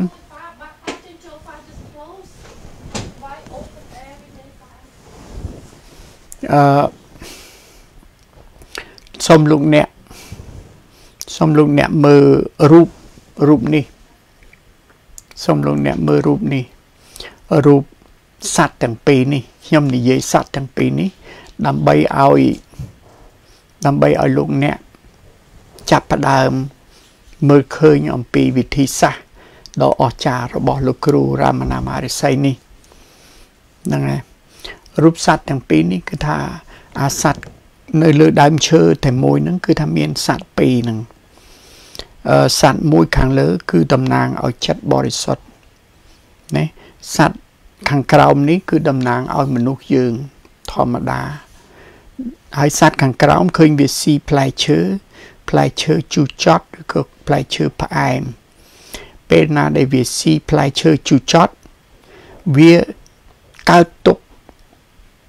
កើតកង្វល់ កើតសង្គ្រាមនៅក្នុងចិត្តវា ហើយវាសម្លឹងមើលទៅអាសត្វខាងលើនេះវាថាអូមិនក៏សត្វខាងលើនឹងក៏ស្រួលសុខស្ងប់ម៉េះបាទហើយពេលមួយដែលវាស៊ីផ្លែឈើផ្អែមវាភ្លេចភ្លាមអត់ខ្វល់ប៉ុន្តែពេលមួយវាស៊ីអាផ្លែឈើជូរចត់មែនទេវានឹកឃើញទៅអាអាសត្វខាងលើ វានឹកឃើញទៅសត្វខាងលើ ពេលនឹងឯងក៏វាអឺ ជូរចត់ខ្លាំងមែនទែនវាដើរទៅស៊ីទៅស៊ីទៅស៊ីទៅសត្វខាងលើ ពេលដែលវាទៅដល់សត្វខាងលើ វាលាយខ្លួនគ្រុបអាសត្វខាងលើបូមយើងបូមវាវឹបទៅជាសត្វខាងលើមកបានពេលហ្នឹងវាបានដឹងថាអូតាមពិតនៅលើដើមឈើនេះមានសត្វតែមួយគត់អាសត្វខាងក្រោមនេះគឺមិនពិតទេបាទពិតមែនតើគឺអាសត្វខាងលើហ្នឹង ឃើញទេនេះជារឿងនៅក្នុងលបើកអឺលបើកនេះតែម្ដងលបើកអឺប្រមាញ់សាសនានឹងតែម្ដងបាទហើយនេះជាវិធីសាស្ត្រក្នុងការចូលទៅចិត្តបរិសុទ្ធអញ្ចឹងដើម្បីចូលទៅចិត្តបរិសុទ្ធលោកគ្រូរាមណាមហារិស័យនឹងគាត់បាននិយាយថាដោយដែលខ្ញុំបាន លើកអំបញ្ញមិញអញ្ចឹង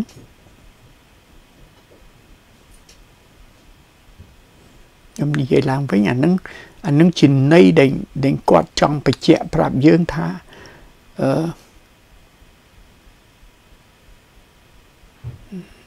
ឈឹ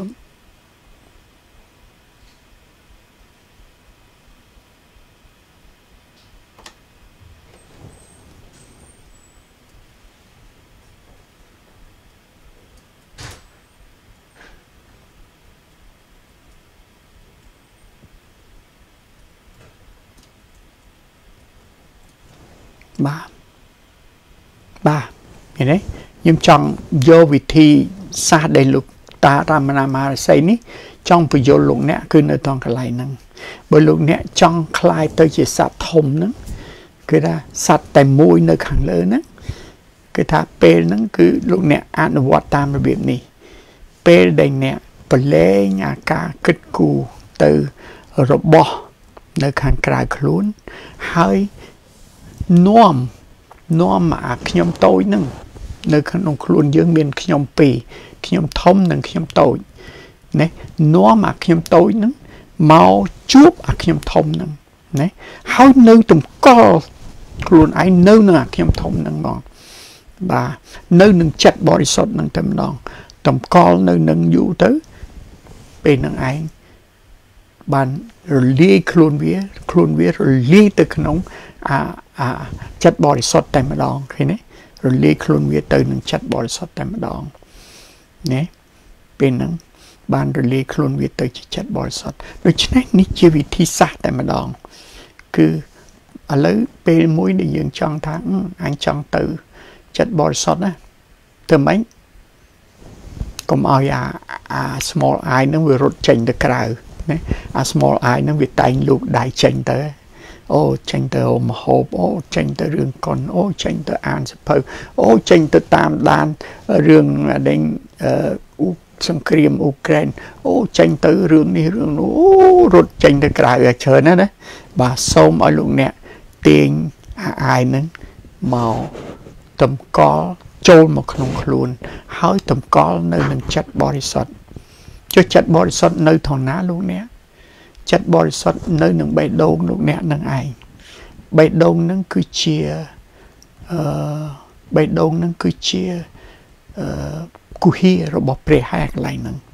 ដូច្នេះលោកអ្នកទាញអា small i នៅនឹងបេះដូងបញ្ចូលវានៅសងំនៅនឹងបេះដូង ពេលដែលលោកអ្នកឲ្យវាសងំនៅនឹងបេះដូងមកស្ទុះវាលាយខ្លួនវាទៅជាទៅទៅជាចិត្តបរិសុទ្ធតែម្ដង ហើយលោកអ្នកធ្វើតែអញ្ចឹងយូរយូរអាលាយទៅជាចិត្តបរិសុទ្ធបាទទៅជាចិត្តបរិសុទ្ធតែម្ដងនេះជាវិធីសាស្ត្រអស្ចារ្យណាស់បាទដែលលោកគ្រូរាមណាមារិស័យអានឹងគឺថាយើងចូលទៅស្ងប់ស្ងាត់ដោយទាញ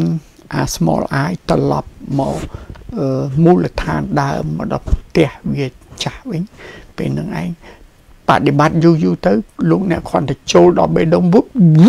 សូបយើងតែម្ដង ថងហ្នឹងឯងខ្ញុំបានពង្រៀននៅ ក្នុងមេរៀនមួយដែលនិយាយអំពីអឺនិយាយអំពីស្នេហារបស់មនុស្សលោកយើងនោះគឺថាពេលដែលលោកអ្នកចូលមកដល់ក្នុងបេះដូងគឺក្នុងបេះដូងនឹងមានមានណាដេញទំនាញមួយដ៏ខ្លាំងក្លា ពីលោកអ្នកមកពីលោកអ្នកគឺថា ព្រះជីវ៉ាហើយនឹងសក្តិលោកអ្នកអានឹងគឺថាជាទំនាញមួយវូបសូបយើងមកមានថាពេលដែលលោកអ្នកទៅដល់បេះដូងសូមលោកអ្នកសំដែងសេចក្តីស្នេហា ចំពោះព្រះនៅក្នុងខ្លួនសំដែងសេចក្តីស្នេហា ចំពោះចិត្តបរិសុទ្ធនៅក្នុងខ្លួនថែមទៀតណាដូច្នេះនិយាយជាការអនុវត្តជាក់ស្ដែង សូមលោកអ្នក ចង់សម្រាចង់ទៅចិត្តបរិសុទ្ធលោកអ្នកទាញ small i ចូលមកក្នុងបេះដូងលោកអ្នកដកដង្ហើម នៅក្នុងបេះដូងភ្ជុំផ្ដោតអារម្មណ៍នៅក្នុងបេះដូង បាទជុំផ្ដោតអារម្មណ៍នៅក្នុងបេះដូងអញ្ចឹងទៅហើយនៅនឹងបេះដូងយូរយូរយូរទៅ គឺថាលោកអ្នកនឹងរលាយខ្លួនទៅបាត់តែម្ដងទៅបាត់នៅក្នុង កន្លែងនឹងតែម្ដងនេះជាវិធីមួយ ដែលលោកអ្នកអាចធ្វើបាន បាទអាចធ្វើបាន ហើយ direct តែម្ដងវិធីនេះបាទបាទ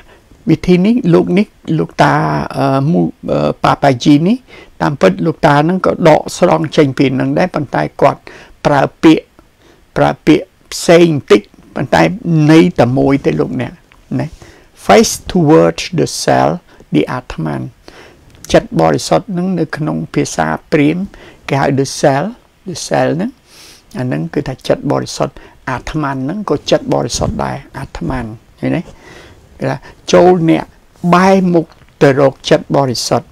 you are safe បើអ្នកបែរមុខទៅរកចិត្តបរិសុទ្ធអ្នកមានសុវត្ថិភាពទាំងស្រុងមានន័យថាអ្នកផុតអំពីភ័យ ផុតអំពីទុក្ខព្រួយផុតអំពីកម្មផលផុតអំពីអីអីទាំងអស់ឃើញទេ you are safe ហើយសូមលោកអ្នកតាំងនៅទីនោះ24ម៉ោងលើ24ម៉ោង24 hour ឃើញទេ incessantly សូមលោកអ្នកតាំងនៅទីនោះកុំឈប់ឲ្យសោះណែ24ម៉ោង if you are in love it has to be 24 hours ហើយកន្លែងនោះគឺជាស្នេហា ហើយលោកអ្នកតាំងនៅទីនោះស្នេហានេះមិនមែនស្នេហាស្រីប្រុសទេ គឺស្នេហាព្រះនឹងតែម្ដងលោកអ្នកតាំងនៅក្នុងស្នេហា ពាក្យនេះពីមុនខ្ញុំស្ដាប់អត់បានទៅសោះប៉ុន្តែដោយស្រាវជ្រាវអំពីនៃស្នេហាអំពីចិត្តបរិសុទ្ធមកបានបានយល់អំពីបច្ចេកទេសនេះ នេះគឺថាជាបច្ចេកទេសរបស់ព្រាមតែម្ដង បាទសរុបមកវិញដើម្បីឲ្យលោកអ្នក តាំងនៅក្នុងពេលបច្ចុប្បន្នតាំងនៅឈរជា silent នៅក្នុងខ្លួននឹងបាន គឺសូមឲ្យលោកអ្នកទាញអា small i ពីខាងក្រៅមកពីព្រោះអា small i វាចេញទៅក្រៅរហូតអាហ្នឹងឲ្យទាញ i ហ្នឹងមក I am i ហ្នឹងមកដល់ទាញ i ហ្នឹងឲ្យវាមកមកបែរមុខមករកចិត្តបរិសុទ្ធឲ្យវាមកសងំនៅចិត្តបរិសុទ្ធហើយ ចិត្តបរិសុទ្ធនៅណានៅបេះដូងហ្នឹងលោកអ្នកនៅបេះដូងហ្នឹងសងំនៅហ្នឹងហើយបន្ទាប់មកគឺថាវារលាយខ្លួននៅនឹងតែម្ដង បាទជាច្បាប់ធម្មជាតិតែម្ដង បាទនេះជាជាវិថីនៃការបដិបត្តិដ៏ direct ណានេះជាតួសមាធិដែលលោកអ្នកប្រាជ្ញព្រាមនឹងគឺថាលោកអង្គុយគឺធ្វើអញ្ចឹងឯងបាទ អញ្ចឹងនៅនៅនេះអឺមានន័យពីរមួយទៀតដែលខ្ញុំតែងតែនិយាយថាស្លាបពីរលោកអ្នកស្លាបពីរគឺស្លាបបញ្ញាហើយនឹងស្លាបអឺសតិអរអស្លាបបញ្ញាហើយនឹងស្លាបបូជាព្រះបាទស្លាបពីរលោកអ្នកដឹងស្លាបបញ្ញានៅត្រង់ណាទេ បញ្ញានៅត្រង់កន្លែង លោកអ្នកដឹងច្បាស់ថា ដឹងច្បាស់ថា នៅក្នុងខ្លួនអាត្មាអញនេះ មានចិត្តបរិសុទ្ធនៅពីខាងក្រោយនឹងតែម្ដង ចិត្តបរិសុទ្ធនឹងគឺថាកាលណាយើងទៅដល់ចិត្តបរិសុទ្ធទៅដល់លំហទៅទេ ទៅដល់ចិត្តបរិសុទ្ធជាកន្លែងអាណន់ទៅដល់ចិត្តបរិសុទ្ធជាកន្លែងរួចរំដោះអានឹងសិតតែបញ្ញាលោកអ្នកអញ្ចឹងបានអ្វីដែលខ្ញុំបានរៀនពីមុនហ្នឹងគឺបញ្ញាទាំងអស់បាទបញ្ញាហើយលោកអ្នកត្រូវមានស្នេហាភ្ជាប់ ខ្លួនទៅនឹងចិត្តបរិសុទ្ធហ្នឹងណាអានឹងស្នេហាលោកអ្នកស្នេហាលោកអ្នកនឹងព្រះខាងក្នុងខ្លួន ស្នេហាលោកអ្នកជាមួយនឹងចិត្តបរិសុទ្ធពេលដែលស្នេហានឹងទាញលោកអ្នកអត់អត់ចេញទៅក្រៅគេណាវាចូលមកក្នុងវូប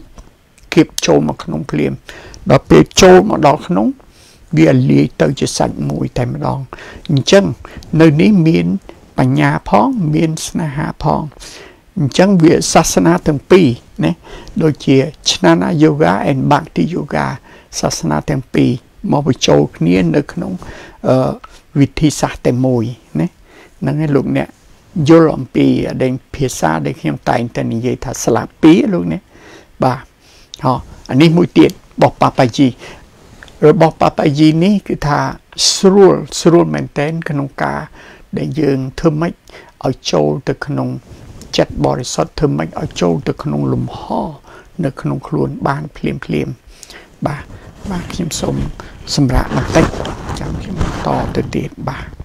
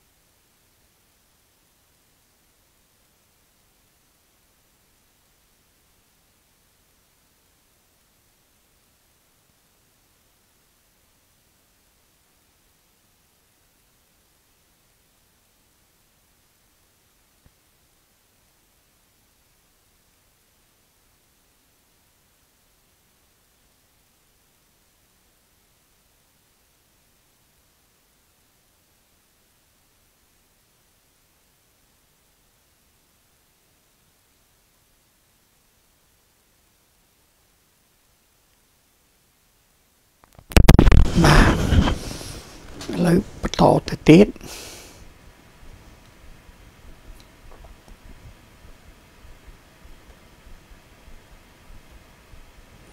បាទឥឡូវនេះខ្ញុំសូមបកប្រែពាក្យនេះ ហើយខ្ញុំនឹងពន្យល់អំពីវិធី ដើម្បីឲ្យទៅដល់ចិត្តបរិសុទ្ធសងំនៅនឹងបាន បាទវិធីនេះជាការបដិបត្តិជាក់ស្ដែងតែម្ដងបាទ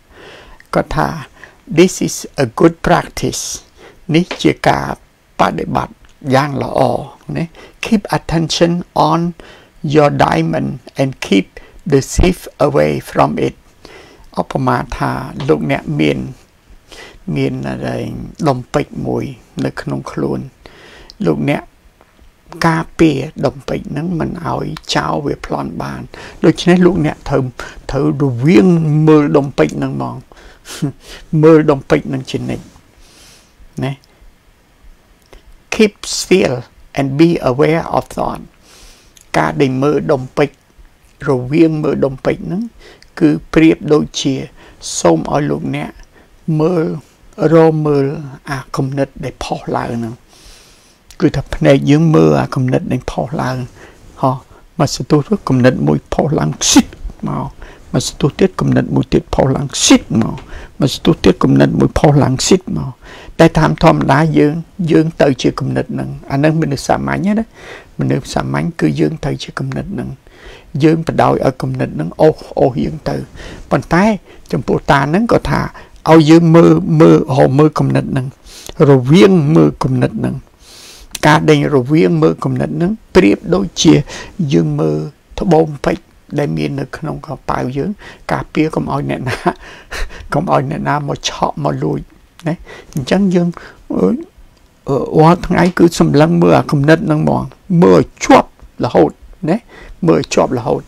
if you keep aware you will not have any thought because no thought come when you watch នេះនេះជាក្បួនមកមកបើសិនជាអ្នកអង្គុយរវាងពិនិត្យ គំនិតទាំងអស់នោះ ពេលនឹងឯងគឺថាអត់មានគំនិតណាទៀតទេ នៅពេលដែលអ្នកអង្គុយមើលវានឹងគឺគំនិតរលាយហ្មងខ្សលខ្សលខ្សលនៅមុខយើងនឹង you you when you do this you are really in awareness itself បើសិនជាអ្នកតម្កល់នៅរបៀបនេះយូរទៅគឺអ្នកនៅនឹង consciousness នឹងហ្មងនៅនឹងសតិដឹងតែម្នាក់ឯងគត់ លោកអ្នកយល់បានទេលោកអ្នកយល់បានទេគឺថាតានឹងគាត់ដើម្បីអនុវត្តឲ្យខ្លៅឲ្យคล้ายទៅជាចិត្តបរិសុទ្ធហ្នឹងគឺថាយើងអង្គុយមើលគំនិតយើងនឹងមកបាទរវាងមើលគំនិតប្រៀបដូចជាគេអង្គុយអឺមើលដុំពេជ្រមួយ នៅក្នុងខ្លួនខ្លាចគេលោកចោលមកប្លន់មកលួចអញ្ចឹងឃើញទេបាទដូច្នេះយើង យើងមកមកអង្គុយមើលគំនិតអាយ៉ាគំនិតអីចេញមកទៀតណានេះទៅបាច់ហើយមិនស្ទុះគំនិតមួយទៀតចេះមើលវាទៅបាច់ហេតុអីបានព្រុតទៅបាត់លោកអ្នកប្រធាននឹងកម្ម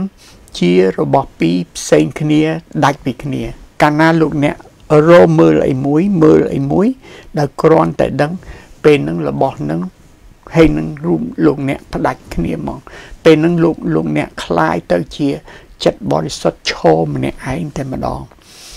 ដូច្នេះអត់មានចាំបាច់ធ្វើអីទេ តាមវិធីរបស់លោកគ្រូនេះគឺថាធ្វើម៉េចឲ្យតែយើងអង្គុយមានសតិដឹងនឹងតែម្ដងតែមានសតិដឹងគ្មានអ្វីនៅនឹងទេគឺថាមានន័យថាមានសតិដឹងគឺផ្ដាច់ធ ម្មជាតិនឹងមកផ្ដាច់ឲ្យយើងមកមិនយើងខំទម្លាក់ភ័យទម្លាក់គំនិតទម្លាក់អារម្មណ៍ទម្លាក់ព្រួយទម្លាក់ទុកអីទេអត់ទេគ្រាន់តែមានសតិដឹងភ្លាមធម្មជាតិគេបំបីជាពីរគេទម្លាក់ចោលឲ្យយើងតែម្ដងយើងនៅម្នាក់ឯងតែម្ដងនេះជាក្បួនរបស់តានឹងមកអានឹងត្រូវជាមួយនឹងសមាធិវិបស្សនា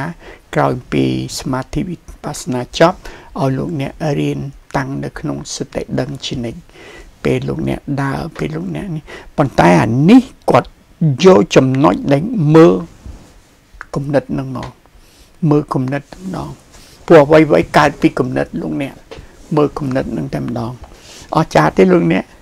វិធីសាមញ្ញមែនតើប៉ាប៉ាជីបាទអស្ចារ្យណាស់អស្ចារ្យណាស់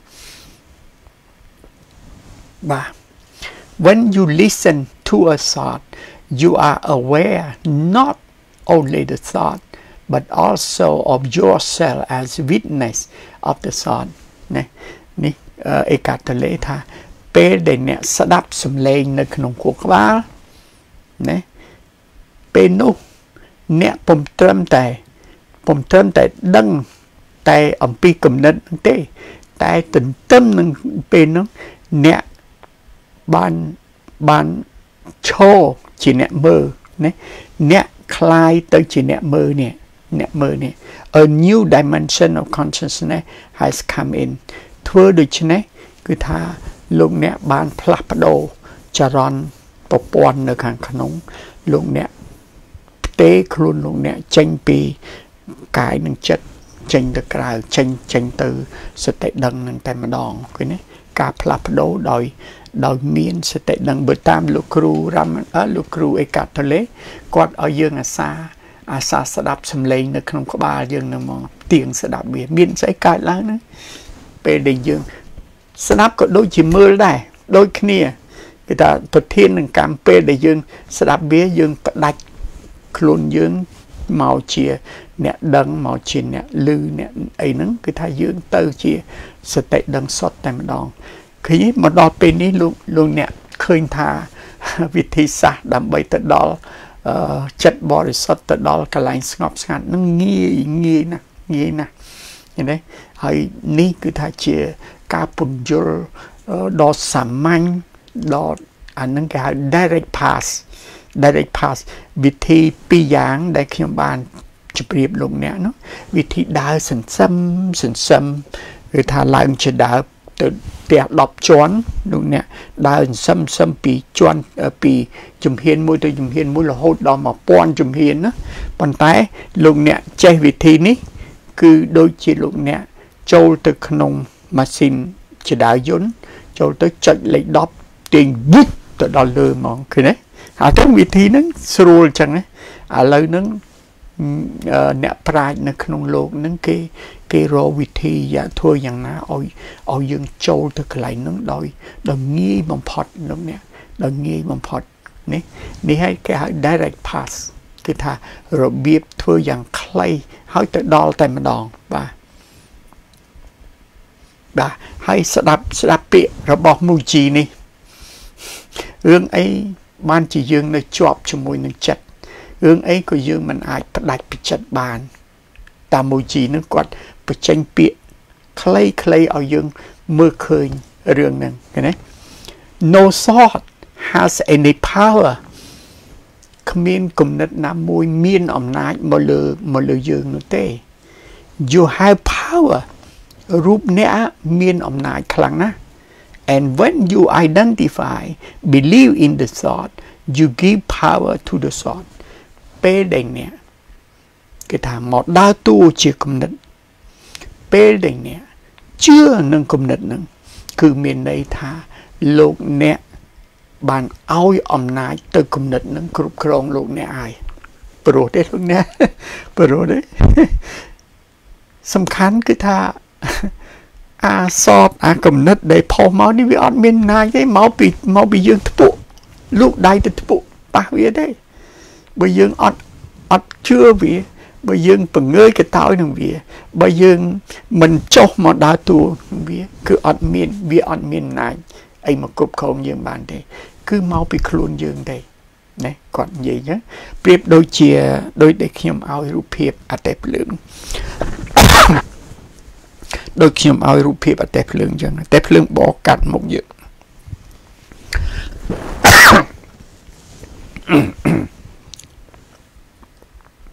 បាទអតេភ្លើងបកកាត់មុខយើងអញ្ចឹងហើយយើងនៅឈរនៅហ្នឹងពេលអតេភ្លើងមកឈប់មនុស្សចេញមនុស្សចូលអានឹងគំនិតគេផ្លាស់ប្ដូរគ្នាណាមនុស្សចេញមនុស្សចូលយើងនៅស្ងៀមតែភ្លើងហ្នឹងចេញទៅបាត់ទៅតែភ្លើងមួយទៀត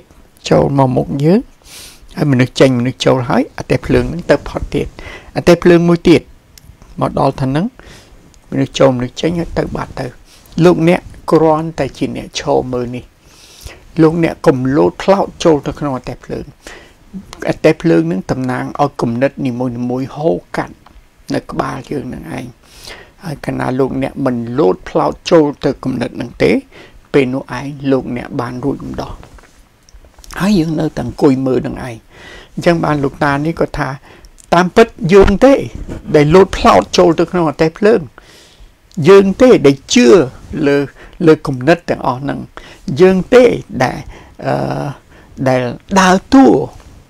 ដែលចូលទៅក្នុងអតិភ្លើងហ្នឹងចុះបើយើងមិនចូលយើងអត់ឲ្យអំណាចវាទេពេលហ្នឹងវាគ្រាន់តែឆ្លងកាត់ហ្នឹងវាអត់មានអំណាចអីមកគ្រប់គ្រងយើងបានទេបាទនេះមួយទៀត let the mind come as it want ណាចូលអ្នកបើកឲ្យចិត្តហ្នឹងវាមកតាមចិត្តវាចោះ just you don't go with it រឿងសំខាន់ កុំទៅជាមួយវា The greatest salesman in the world cannot sell you if you don't buy ណាគឺថាអានឹងគាត់ប្រៀបធៀបជាមួយនឹងអ្នកលក់ដូរហ្នឹងអ្នកលក់ដូរហ្នឹងគឺថា uh, the greatest salesman in the world cannot sell you if you don't buy គឺថាអាអ្នកដែលផ្សាយផ្សាយ ផ្សាយអូមួយនេះឆ្នាំខ្ញុំល្អណាឆ្នាំខ្ញុំដាក់ទៅវិញចេះមួយចុះមួយចុះបើលុងអ្នកអត់អត់ទិញវាមានវាវាមានអំណាយអីមកលើយើងអត់ទិញឃើញទេបើអ្នកអត់ទិញហើយអត់អត់មានបញ្ហាអីទេឃើញទេអ there is no need to believe or disbelieve your thought អ្នកពុំមានការចាំបាច់ត្រូវជឿឬក៏មិនជឿគំនិតដែលដែលផុសឡើងផ្លេត ផ្លេតផ្លេតនៅមុខយើងនឹងទេ just don't enter anything កុំចូលទៅវា they don't distract you you get distracted nothing exists in itself as a distraction it is you who get distracted by គាត់ថារឿងយើងចេះតែថាអគំនិតនឹងវាមករំខានអញមកធ្វើបាបអញមកអីអញតាមពិតខ្លួនយើងនឹងទេ បើយើងព្រមឲ្យវាឲ្យវាបោកប្រាស់យើងបើយើងព្រមឲ្យវាអឺរំខានយើងយើងលូកដៃទៅគឺរំខានយើងតែយើងមិនខ្វល់នឹងវា បាទដូច្នេះថងហ្នឹងឯងដែលសំខាន់តមទៀត life is so much wiser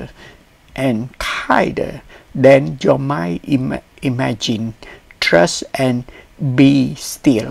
ណាគាត់និយាយទៀតថា ជីវិតរបស់មនុស្សមិនមែននៅក្នុងគំនិតតូចតូចនោះទេជីវិតរបស់មនុស្សធំជាងគំនិតទាំងអស់នោះទៅទៀតបាទមានន័យថាយើងត្រូវឡើងផុតអំពីគំនិតមកទៅជាចិត្តបរិសុទ្ធនឹងតែម្ដងឃើញទេភាសាអននេះអស្ចារ្យណាស់បាទអូមិញនេះខ្ញុំបាននិយាយអំពីវិធីសាស្ត្ររបស់លោកគ្រូធំទាំងពីរនេះ ខ្ញុំនិយាយរំលឹកឡើងវិញដើម្បីចូលទៅក្នុង silent លោកគ្រូទាំងពីរហ្នឹងបានប្រាប់ថាឲ្យយើងនាំអា small i ហ្នឹងនាំអា small i ហ្នឹងចូលមកក្នុងខ្លួនលោកអ្នកបាទចូលមកក្នុងខ្លួនលោកអ្នកឲ្យអា small i ហ្នឹងទៅជួបនឹង big i ទៅជួបនឹងខ្ញុំចេះតែនិយាយភាសាអង់គ្លេសលោកអ្នកខ្លះស្ដាប់មិនបាន សូមលោកអ្នកនាំចិត្តតូចនឹងចិត្តតូចនឹងខ្ញុំតូចនឹងចូលមកក្នុងខ្លួន ហើយភ្ជាប់ខ្លួនវាទៅនឹងខ្ញុំធំ ទៅនឹងចិត្តបរិសុទ្ធដែលនៅក្នុងបេះដូងនឹងណាហើយពេលដែលវាទៅត្រង់ហ្នឹងវារលាយខ្លួនទៅជាចិត្តបរិសុទ្ធតែម្ដងហើយបើលោកអ្នកអនុវត្តយូរយូរទៅលោកអ្នកនឹងទៅដល់កន្លែងហ្នឹងដោយងាយអញ្ចឹងអ្នកប្រាជ្ញធំធំអស់នេះគឺថាគាត់ ធ្វើតែអញ្ចឹងឯងណាហើយគាត់ធ្វើតែអញ្ចឹងឯងបាទហើយអញ្ចឹងបានមានវិធីសាស្ត្រមួយ ដែលខ្ញុំបាននាំលោកអ្នកពងានលោកអ្នកគេហៅ heartfulness meditation ហ្នឹងលោកអ្នកមានចាំទេពេលដែលខ្ញុំពងានអំពីអាចកំបាំងនៃសេចក្តីស្នេហា នៅខាងក្រោយនឹងខ្ញុំបានបង្ហាញអំពីសមាធិលើបេះដូង បាទសមាធិលើបេះដូងនឹងមាន2ថ្នាក់ថ្នាក់ទី1គឺលោកអ្នកសម្រាកគឺឲ្យធម៌ពលនៃព្រះធម៌នេះចូលសម្រាកនៅក្នុងខ្លួនលោកអ្នកអឺបន្ទាប់មកទៀតខ្ញុំឲ្យលោកអ្នកចាប់ផ្ដើមនឹងគឺថាអឺអឺដាក់អារម្មណ៍នៅក្នុងគំនិតមួយថាអឺនៅក្នុងគំនិត ថាព្រះលោកនៅរងចាំយើង នៅក្នុងបេះដូងហ្នឹងព្រះនៅរងចាំយើងនៅហ្នឹងយើងតម្កល់ចិត្តយើងនៅនៅក្នុងអាកន្លែងបេះដូងយើងនឹងតែម្ដងពេលហ្នឹងគឺថាយើងអត់នៅខាងក្រៅទេគឺយើងចូលមកក្នុងបេះដូងសង្ងំនៅហ្នឹងយូរយូរសូបយើងចូលវូតតែម្ដងអាហ្នឹងវិធីហ្នឹងក៏ដូចនឹងវិធីលោកតាទាំងពីរហ្នឹងដែរដូច្នេះលោកអ្នកអាចនឹង ចូលទៅវិធី heartfulness meditation ហ្នឹងទៅ គឺថាមានវិធីសម្រាប់ឲ្យយើងចូលទៅក្នុង ចិត្តបរិសុទ្ធហ្នឹងដោយនាំអាខ្ញុំតូចហ្នឹងចូលមកក្នុងខ្លួន ចូលមកក្នុងបេះដូងដកដង្ហើមនៅក្នុងបេះដូងសំដែងសេចក្តីស្នេហាចំពោះខ្ញុំធំ នៅក្នុងបេះដូងនេះឯងបាទនេះជាវិធីមួយដ៏អស្ចារ្យដែលលោកអ្នកអាចនឹងយកទៅប្រើបាទ ដូច្នេះខ្ញុំសូមបញ្ចប់អឺ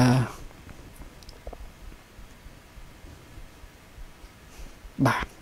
ដូច្នេះខ្ញុំសូមបញ្ចប់ណាការអធិប្បាយអំពីអំពីសតិដឹងយើងមកដល់ត្រង់នេះ យើងបញ្ចប់ប៉ុណ្នេះបាទតែមុននឹងបញ្ចប់ខ្ញុំសូមនិយាយ សរុបឡើងវិញ ក្នុងលោកយើងនេះ មនុស្សទាំងអស់គ្នា ស្វែងរកការត្រាស់ដឹង បាទការត្រាស់ដឹង គឺជាអឺការបធ្វើបដិវត្តនៅក្នុងខ្លួនយើងនឹងតែម្ដង បាទធ្វើបដិវត្តធ្វើឲ្យ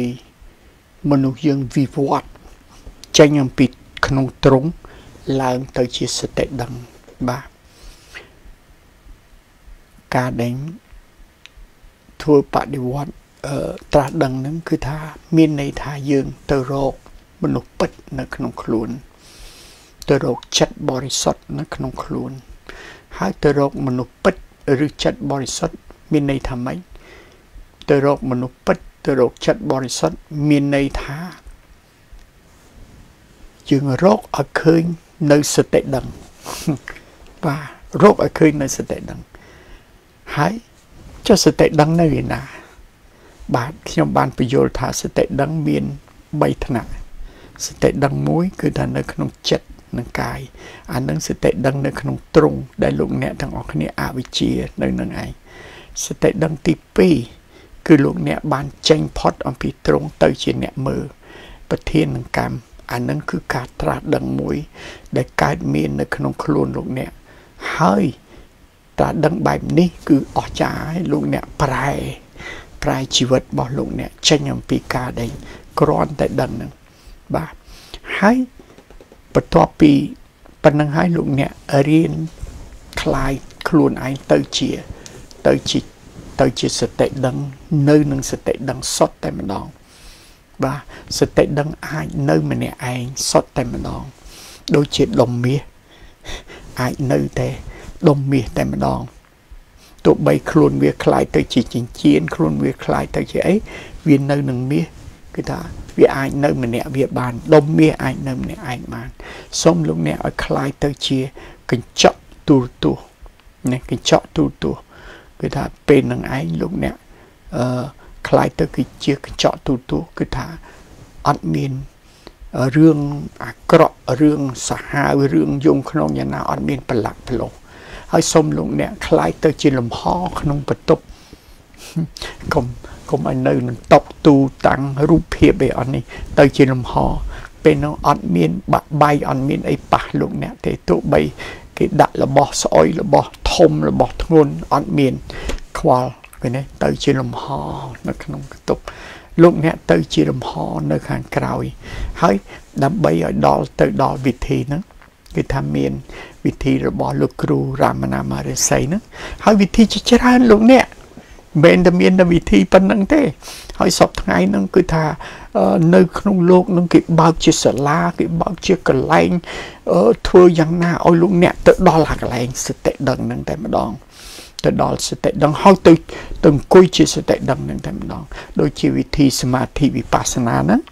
គឺថាលោកអ្នកចូលទៅចូលទៅក្នុងឡាបូហ្នឹងហើយបន្តិចម្ដងបន្តិចម្ដងគេពងានអ្នកលោកអ្នកឲ្យទៅដល់កន្លែងហ្នឹងវិធីយូហ្គានៅក្នុងโลกនឹងមានសាលាយូហ្គាច្រើនណាស់លោកអ្នកហើយមានវិធីសាស្ត្រហើយសាសនាទាំងអស់នាំលោកអ្នកមកកន្លែងហ្នឹងឯងអត់មានចេញផុតពីកន្លែងហ្នឹងទេ តែ មានលោកគ្រូមហាវិស័យរាមាណាមហារិសីហើយលោកគ្រូប៉ាប៉ាជីដែលខ្ញុំបានបង្ហាញមិញគឺគាត់ប្រាប់វិធីដ៏ខ្លីដ៏លឿនគឺវិធីគាត់ថាសូមលោកអ្នកពងៀននាំឲ្យចិត្តខ្ញុំតូចនេះចូលមកក្នុងខ្លួនកុំឲ្យវាដើរដែកដងនៅខាងក្រៅ ដែកដងទៅរូបភាពដែកដងទៅរឿងខាងក្រៅទៅអីអីណាឲ្យវាចូលមកជួបនឹងខ្ញុំធំនៅក្នុងខ្លួនយើង ហើយកន្លែងនៅក្នុងខ្លួន គឺបេះដូងហ្នឹងហើយពេលដែលវាមកសងំទៅហ្នឹងសូមលោកអ្នកសំដែងសេចក្តីស្នេហាវា ដើម្បីឲ្យសតិយូហ្គាអសជីវសតិជួបគ្នាកន្លែងហ្នឹងគឺរលាយលោកអ្នកអាសត្វ ខាងក្រោមនឹងវាដើរដើរទៅដល់ក្នុងលេខសុលទៅ ទៅជាមនុស្សពិត ទៅជាចិត្តបរិសុទ្ធពេលហ្នឹងលោកអ្នកអាចនឹងសងំនៅទីនោះរហូតតែម្ដង បាទនេះជាជាមេរៀនមួយដ៏ល្អបាទហើយពេលដែលលោកអ្នកអនុវត្តតាមនេះគឺមានស្លាប់ពីរដែលស្លាប់មួយគឺលោកអ្នកប្រើបញ្ញាវិជាដែលខ្ញុំបានពង្រៀនលោកអ្នកនេះ គឺបង្ហាញនៅនៅវត្តមានរបស់ចិត្តបរិសុទ្ធនៅខាងក្នុង ហើយត្រូវប្រើអារម្មណ៍នៅក្នុងនឹងទៀតអារម្មណ៍នៅក្នុងកន្លែងពេលដែលលោកអ្នកចូលទៅក្នុងនឹងលោកអ្នកសំដែងសេចក្តីស្នេហា ស្នេហានឹងវាទាញយើងស្វូចូលទៅតែម្ដង ពេលហ្នឹងលោកអ្នកបានរួចរំដោះរួចរំដោះតាមវិធីនេះវិធីនេះគេហៅ direct pass ទៅវុតតែម្ដងបាទ